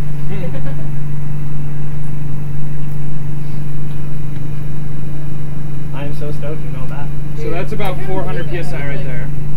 Did you ask or they reached out to you? No, Like, they reached out to nice. me and they called me on my cell phone. What? Yeah. call me on my cell I've been saying that all week, and I'm just like, I can't not. I, I sounded like such a celebrity when I told my mom. really? The person who requested you? So everyone should know Tara was kind of celebrity-ish. You were Like, this is like my 30 minutes of fame. Yeah, right now. She won the poster contest. Yeah. You won for all of Marshall. Yeah. That's awesome. Totally For all of the engineering division, there were other people that won first oh. place as well. Hell yeah. For- But for other stuff, that yeah, all like three of them. That was a real. I was just excited for pizza. They called my name and I didn't even know they called it. I'm like, hey, I worked on one of those. oh, wait, what? yeah, I'm really excited to go back and see if I can self up with a co-op. That's the key. Do, Hell do you yeah. want to work down there? No, but that's a really great place to start. Like, I don't, I've already gotten in and it's really awesome. It would be an awesome position to work there and like build up my resume. After two internships, a probably like explicit at that point. Right, that's what I figure. I'm like, well, you know, I can pretty much just go work for my old mentor or whatever if he needs somebody. He loves me, and he knows I work freaking hard. I think that's how it works. You, like, if they have a position, of course, NASA. Yeah, yeah. Right. So, are we ready to get this thing running some cryo fluid through it? Yeah. Are you guys more excited now? Yeah. Cool. No, I'm, I'm not. I'm not even being sarcastic. I'm. I think we can do it. We got the nitro downstairs. I mean, we got we got a, a there's a dewar or some liquid nitrogen. We can just throw it in, see what happens. Oh. yeah. Well, I mean, like. I'll, I'll tell uh, you what's gonna happen. It would be relatively straightforward shatter. and uh, wouldn't take that much time to take this from where it is now to something that can run run uh, LN2 at least in a few tests. You know, You're gonna need a new seal. limited limiting factor is going to be money on the seal bearing. Right, the seals are freaking And we gotta keep thinking about a cool way to cool the E ESC. It also brings up, it was designed super modular, right? So like, the seal plates, I. there's, That's right. That's, that's what it is. there's two seal plates, but they could be, that part can be removed and a different plate or plates intended for a different seal put in without changing anything else. Uh, So what's the best way to make sure that all the water is out of it? So there's no corrosion? yeah, Take it apart. Yeah, so yeah, and there's the order to taking apart is like other than getting all the plumbing off. There's two steps. There's all of these M6s. There's seven of them, and that opens up. The, and we'll do it right now. Uh, You shouldn't have to do that. Um, we'd like to go back in and add a bleed, uh, somewhere to bleed the main chamber. Yeah. Getting the fluid out of the lines is really easy, but um, classically, if you look at a bunch of different pump designs, they're Yeah. going to have little uh, Well, bleed they- out ports all over the pump. well, everywhere. that that is one. I guess you could turn the pump sideways, Yeah, you could do that. but it's not that big of a hassle to take it apart. But yeah, to get to the the impeller chamber, you have to take all of these off, and then to open up the seal cavity, you have to take the back four off. So it's built like an internal combustion motor. It has a bottom end and a top end. And there were certain things you just kind of couldn't get around probably with like the broken now. required tolerances and alignment. Um, we initially had uh, dowel pins stacked along the, the entire length of the pump, in kind of a circular pattern, and then we um, uh, you know, one one plate would be a press fit and one plate would be a slip fit. Press, slip, press, slip. Um, it ended up working, but it was overly constrained. Yeah. Getting a little bit of vibration, so we actually took all of those uh, press fit dowels out and left the slip fits in combination with the bolts, and it just kind of worked perfectly. Um, but there's always room for improvement with that kind of stuff too.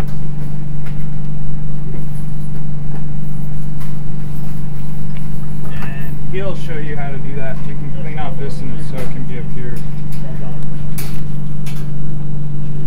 James is the dude that takes it apart and puts it back together all the time.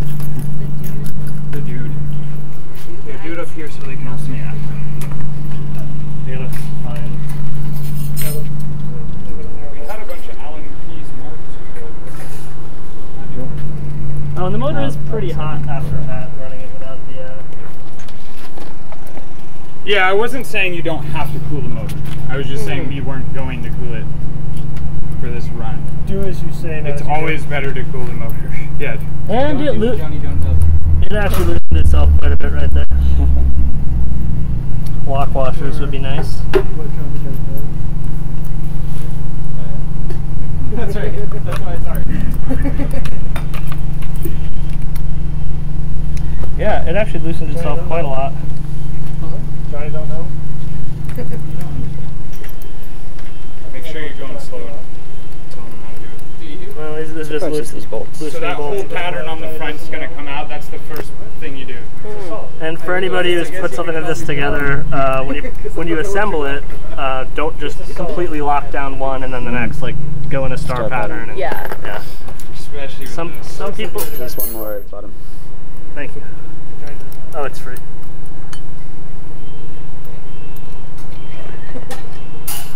Yeah, I'll get them. Okay. Oh, and I skipped this, but this has to come off too. You really only have to get two of these bolts off to do this, but Why only two?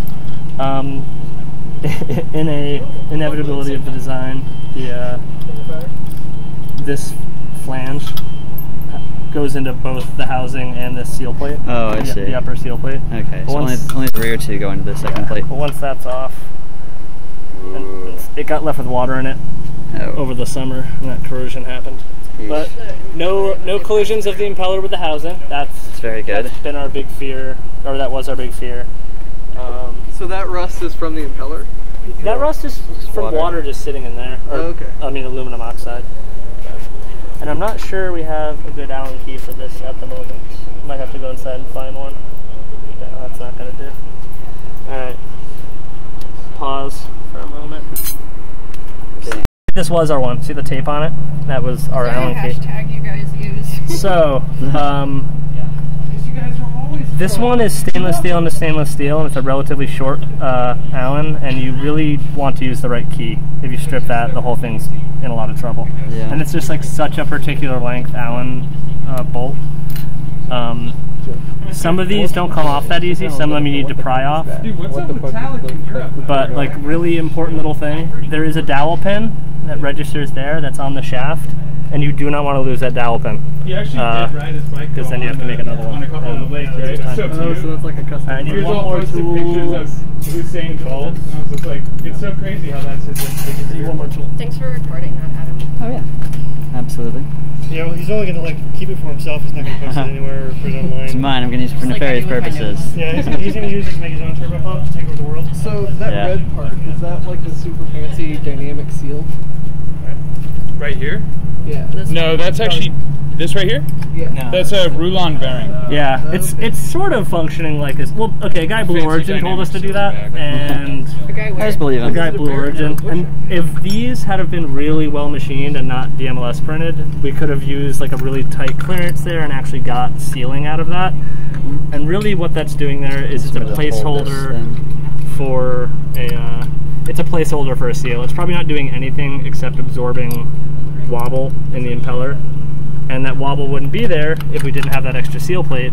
So it's it's basically creating a problem and then sort of solving it at the same time. it's, it's solving its own problems that yeah. it's creating. Well, at least it didn't make you do it.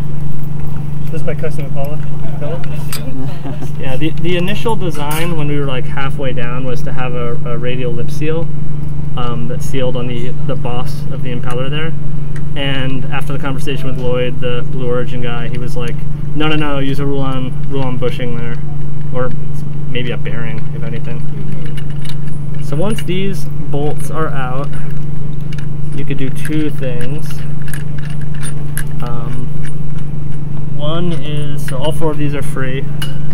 Sorry. If you're on camera, you use tools really poorly. um, For posterity. You could thread a bolt in here, and that will break the seal between this upper seal plate and the lower seal plate, which is has gasket sealant on it.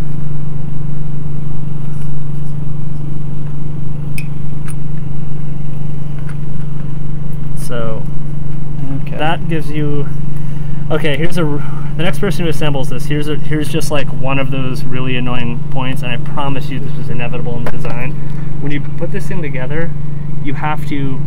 This is the upper seal plate. You'll see what's under it in a minute, but it cannot come off past the dowel. Oh, so you yeah. have to. Th when you assemble it, you have to put the upper seal plate on, then put the dowel in, then put this over it.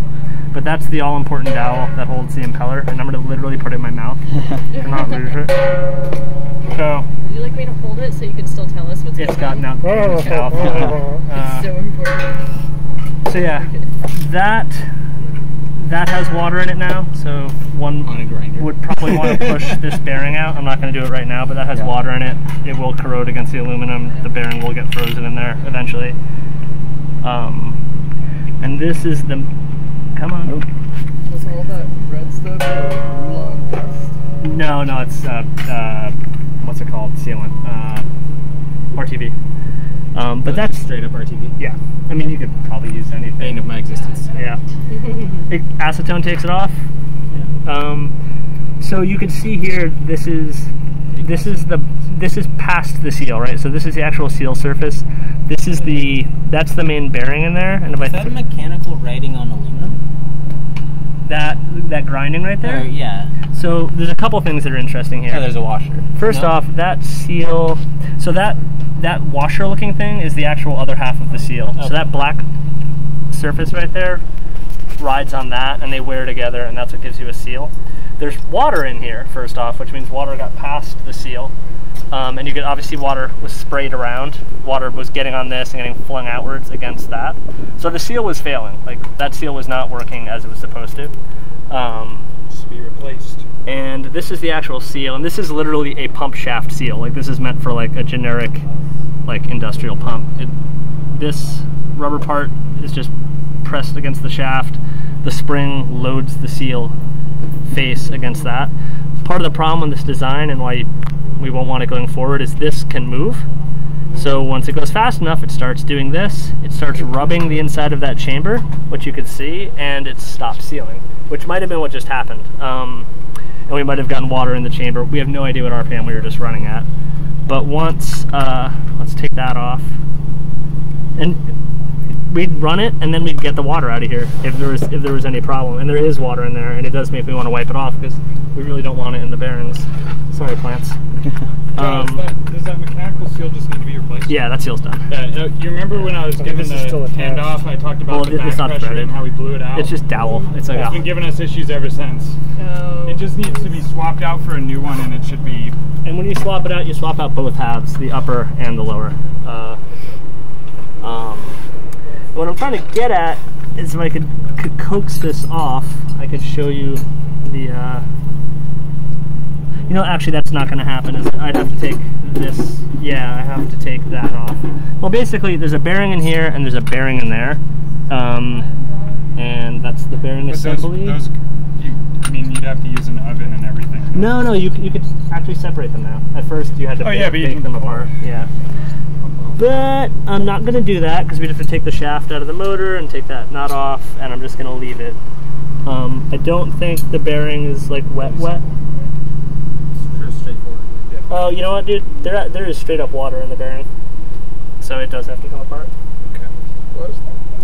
So there's water. If you look in there, the, the bearing's packed with grease, but because the seal failed enough, uh, water is in the bearing, and if it rusted and you guys ran it, and there was bits of iron oxide in there at like 20,000 RPM, the bearing would probably fail. Uh, have a good day. Yeah.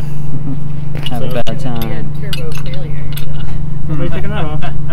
Don't you need to remove this? No, no, no, oh, you no. just need to pull the shaft out. Yeah, actually, we could we could do this if you guys want to keep watching this things get pulled apart. Yeah. Yeah, of course. Just go all the way. What time is it now, by the way? That, That was loose. that That's great. failure could get really 647. ballistic. Ah. and I should obviously be It'd be a putting the baller failure. in a bin. Okay, so Don't try to spin I'm balling. Greatest beat baller of the year. No, no, no. Ballistic. That was good. I, I thought it was a race.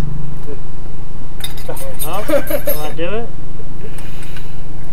The only, the worst part to take apart is the motor to pull it off the bearing. Oh, oh God, yeah. You have to have little small fingers and Yeah, if you look in there, there's a whole ring of bolts holding the motor. It's like a mm-hmm. three-piece. Thank no, you. it comes it comes on and off. It just takes a sec. It's it's not. It's a great challenge to design something like this and get as close as possible to easy to take apart and easy to put together as you can. Um, Okay. There's some I just need to you get just can't that circumvent. nut off. Seven thousandths tolerance and alignment. Anybody have a guess what that is? Five eight. Seven thousandths. It's like at least half inch. Well, yeah, five is really nice. Billy Two gets. sets. Yeah, I made that same mistake in the tower. Ten thousand. Hey, Peter. My, my mind just stops at the thousand. I, I, I see I see, see the ten part that will thousand ruin because like I just lose it? memorized that really well because Of course. back in uh, Careful, oh, God. Custom doing, uh, machine pistol we've, just, we've decided that this Uh, these had parts are now going to the high Vlad series and impeller. So put the bore gauges in, and then get These it down now to like. these are now the Oh, Vlad I was impeller. ambitious about the size of that. Yeah. That's insane. It's a Vlad I think I need pliers. And it was like the measuring tolerance. It wasn't even other like the actual tolerance. Was a lot more than. So you're getting into the bearings now. Yeah, so that nut is holding the bearing assembly together. Okay. Also, Andrew, I need to show you the concept art for the uh, the first test fire. Oh, you have a The covers, and I was like, yes, those those are being saved. Oh my god, that's funny. I think I like the, the other one. Losing stuff. This one? yeah. The dog one. You don't let this mother burn. yeah, Yeah, that's right. pretty Very good. majestic. Um, concept art for the uh, first test fire. Alright, so now Other than that one. that's the end of it coming apart. And look at that, we totally have a bit of iron oxide on there. Ooh, already. So that, that, oh yeah, check that out. So there, there's been water in here. oh, shit. Uh, not lose that, whatever. Maybe the uh, Drop drop maybe all the the, bolts. um, corrosion kind of opened up some tolerance. Maybe that's why we're not as, as Quite possibly. vibration. But it's, like saying or do something to it to put it away wet. well yeah, that's like a, It's like you know, run it hot and put it Run away. it hard wet. and put it away wet. See if Peace House will buy a vacuum chamber and we can just like cook it real quick We- each use. You could, you could, co- oh, cook the water out. That's a Yeah. good idea. Vacuum I'd say- chamber. Very smart. where does this go? You're so Yeah. intelligent. I was wondering why it was a Thanks. vacuum chamber. Oh yeah, Yeah. water vapor, uh, vapor pressure. So yeah, that. Well, that's actually that's a worrisome thing that even the second bearing has rust on it. Um, it makes me think, oh, maybe we just need to replace both the bearings. There are spares. Is there uh, any worth in investigating like uh, corrosion prevention, like chemicals that you use or anything like that? Better seals. What's that? Better seals. Never seen. Yeah. Not not putting it away well. That was also a mistake. We actually were testing the pump right up to like the night before the presentation was due. And I think we broke it down out here at like twelve thirty. So we? make sure that when we're f- we're not flying an actual test uh, capstone piece of hardware, actually like you know take our time on it. Yeah, yeah, yeah. yeah. Well, putting it away at least. So yeah, so that's the full assembly. I guess if you just to run it backwards, and I'm not going to do the whole thing like tighten every bolt, Mm. but that slides into there. There's no dowel pin on that first uh, that first level because the bearings are doing their own job, Lock keeping things concentric. I see the beautiful shaft. Yeah, this thing's tearing up. So that tightens. All the bolts go through.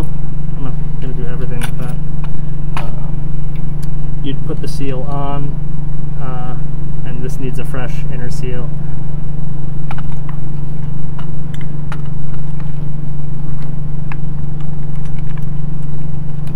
And these, from here on, it's everything's like dowel located. Uh, so that the main seal is in there. Somebody should design a better seal for this plate. Not me. This thread's in. I'm not going to do it right now. I fucked up the assembly. Pardon my language. Um, this needs to go up like this. Like this needs to be high. The gauge makes it kind of obvious. I rotated the plates wrong, but that would go on. You'd put. Uh, I'm hammering through this. Sorry, before this goes on, that dowel has to go through. Then this goes on. Oh, here, yeah. The all important do not lose it dowel? Yes. Because it just it snugly fits into all the impellers. Uh, then that goes on. Then the impeller goes on. Then the impeller bolt goes in and tightens the impeller on. Um, then the chamber goes on, and that's it. So that's oh, and that would have to go in and be tightened down to the uh, to the coupler. And that's That would be yeah, able to- if now that this has been taken apart, and that's a whole could other step back. Now that the coupler's been taken off, the next time you run it, good chance it's going to be vibrating and being crazy, and you have to do the thing we talked about where you adjust the system, just sort of finesse it so it stops having vibration issues. Um, we used a dial gauge to make sure everything was concentric to make sure it didn't have vibration issues, but not going to do that right now. That's the pump. Nice. Yay. And John just Applause. you know, came up with the idea and then figured out how to make it work. Ten gallon one for less than. I got the glory of the mechanical part. it's all your ideas. I didn't say. Andrew, we need money. Can we have three hundred dollars so that we can buy a ten gallon vacuum Woo! chamber? Don't even need to. We don't even need to tell them what we want anymore. We just get the money. But you get to see how cool it is. Okay. We can pull vacuums on stuff. Why would you want this? Because it, when you pull a vacuum on something, it basically lowers the um, evaporation Makes all the point water of big water, boils. Makes and it all the boil water will just jump out of any little crevice and evaporate. Do you know what we're building? We're building a better one. Chamber? Thermal Big vacuum one? chamber. Yes, for a satellite. Yeah. So you can just use that one. So we And that'll can be use that. like utterly critical for cryo, right? Because if there's any water Right. in, in here, and then you put And liquid then that oxygen becomes in, ice. you have to put fresh seal in, which I guess. Well, I don't want to do it right now because I want to clean that Yeah. first, and I don't want to make you wait. But um, pull the seal. The seal comes assembled, like the the rubber and the metal part, and it is impossible to put them in together. But if you put the rubber part in first, you could press. there you go. Yeah, you can get it in there nice and, and flat and friends. flush. What, what, what? Huh? Oh, don't worry about it. Um, yeah, they, they come in the package like this. Oh, here's actually My another spent seal. Fantastic. Oh well. Yeah, they come in the package not greasy and covered in black. But, Uh, so we'll have to get those All right. in cryogenic. RPM comes off. Oh. Uh, un- just unsurprisingly, and uh, it took everything out. It was like electrical tape going very, very, Deadly very electrical tape. fast. Yeah. Bit of black tape Did on there for the optical that, sensor. or- That is. No, no, there's just not tape on it. Oh, okay. So like nail polish would be better. Nail polish would be much better, but you have to have a reflective spot. We ended up zip tying the tape on, obviously. Hmm. Yeah. Uh, Zip ties and the That's smart. Apparently. Zip tie on tape. You could just polish that little uh, union. Yeah, you just have to. Yeah, well, that's a good point. It's aluminum. Yeah, just polish it. See, where were where were you? Mm. Just polish the shaft.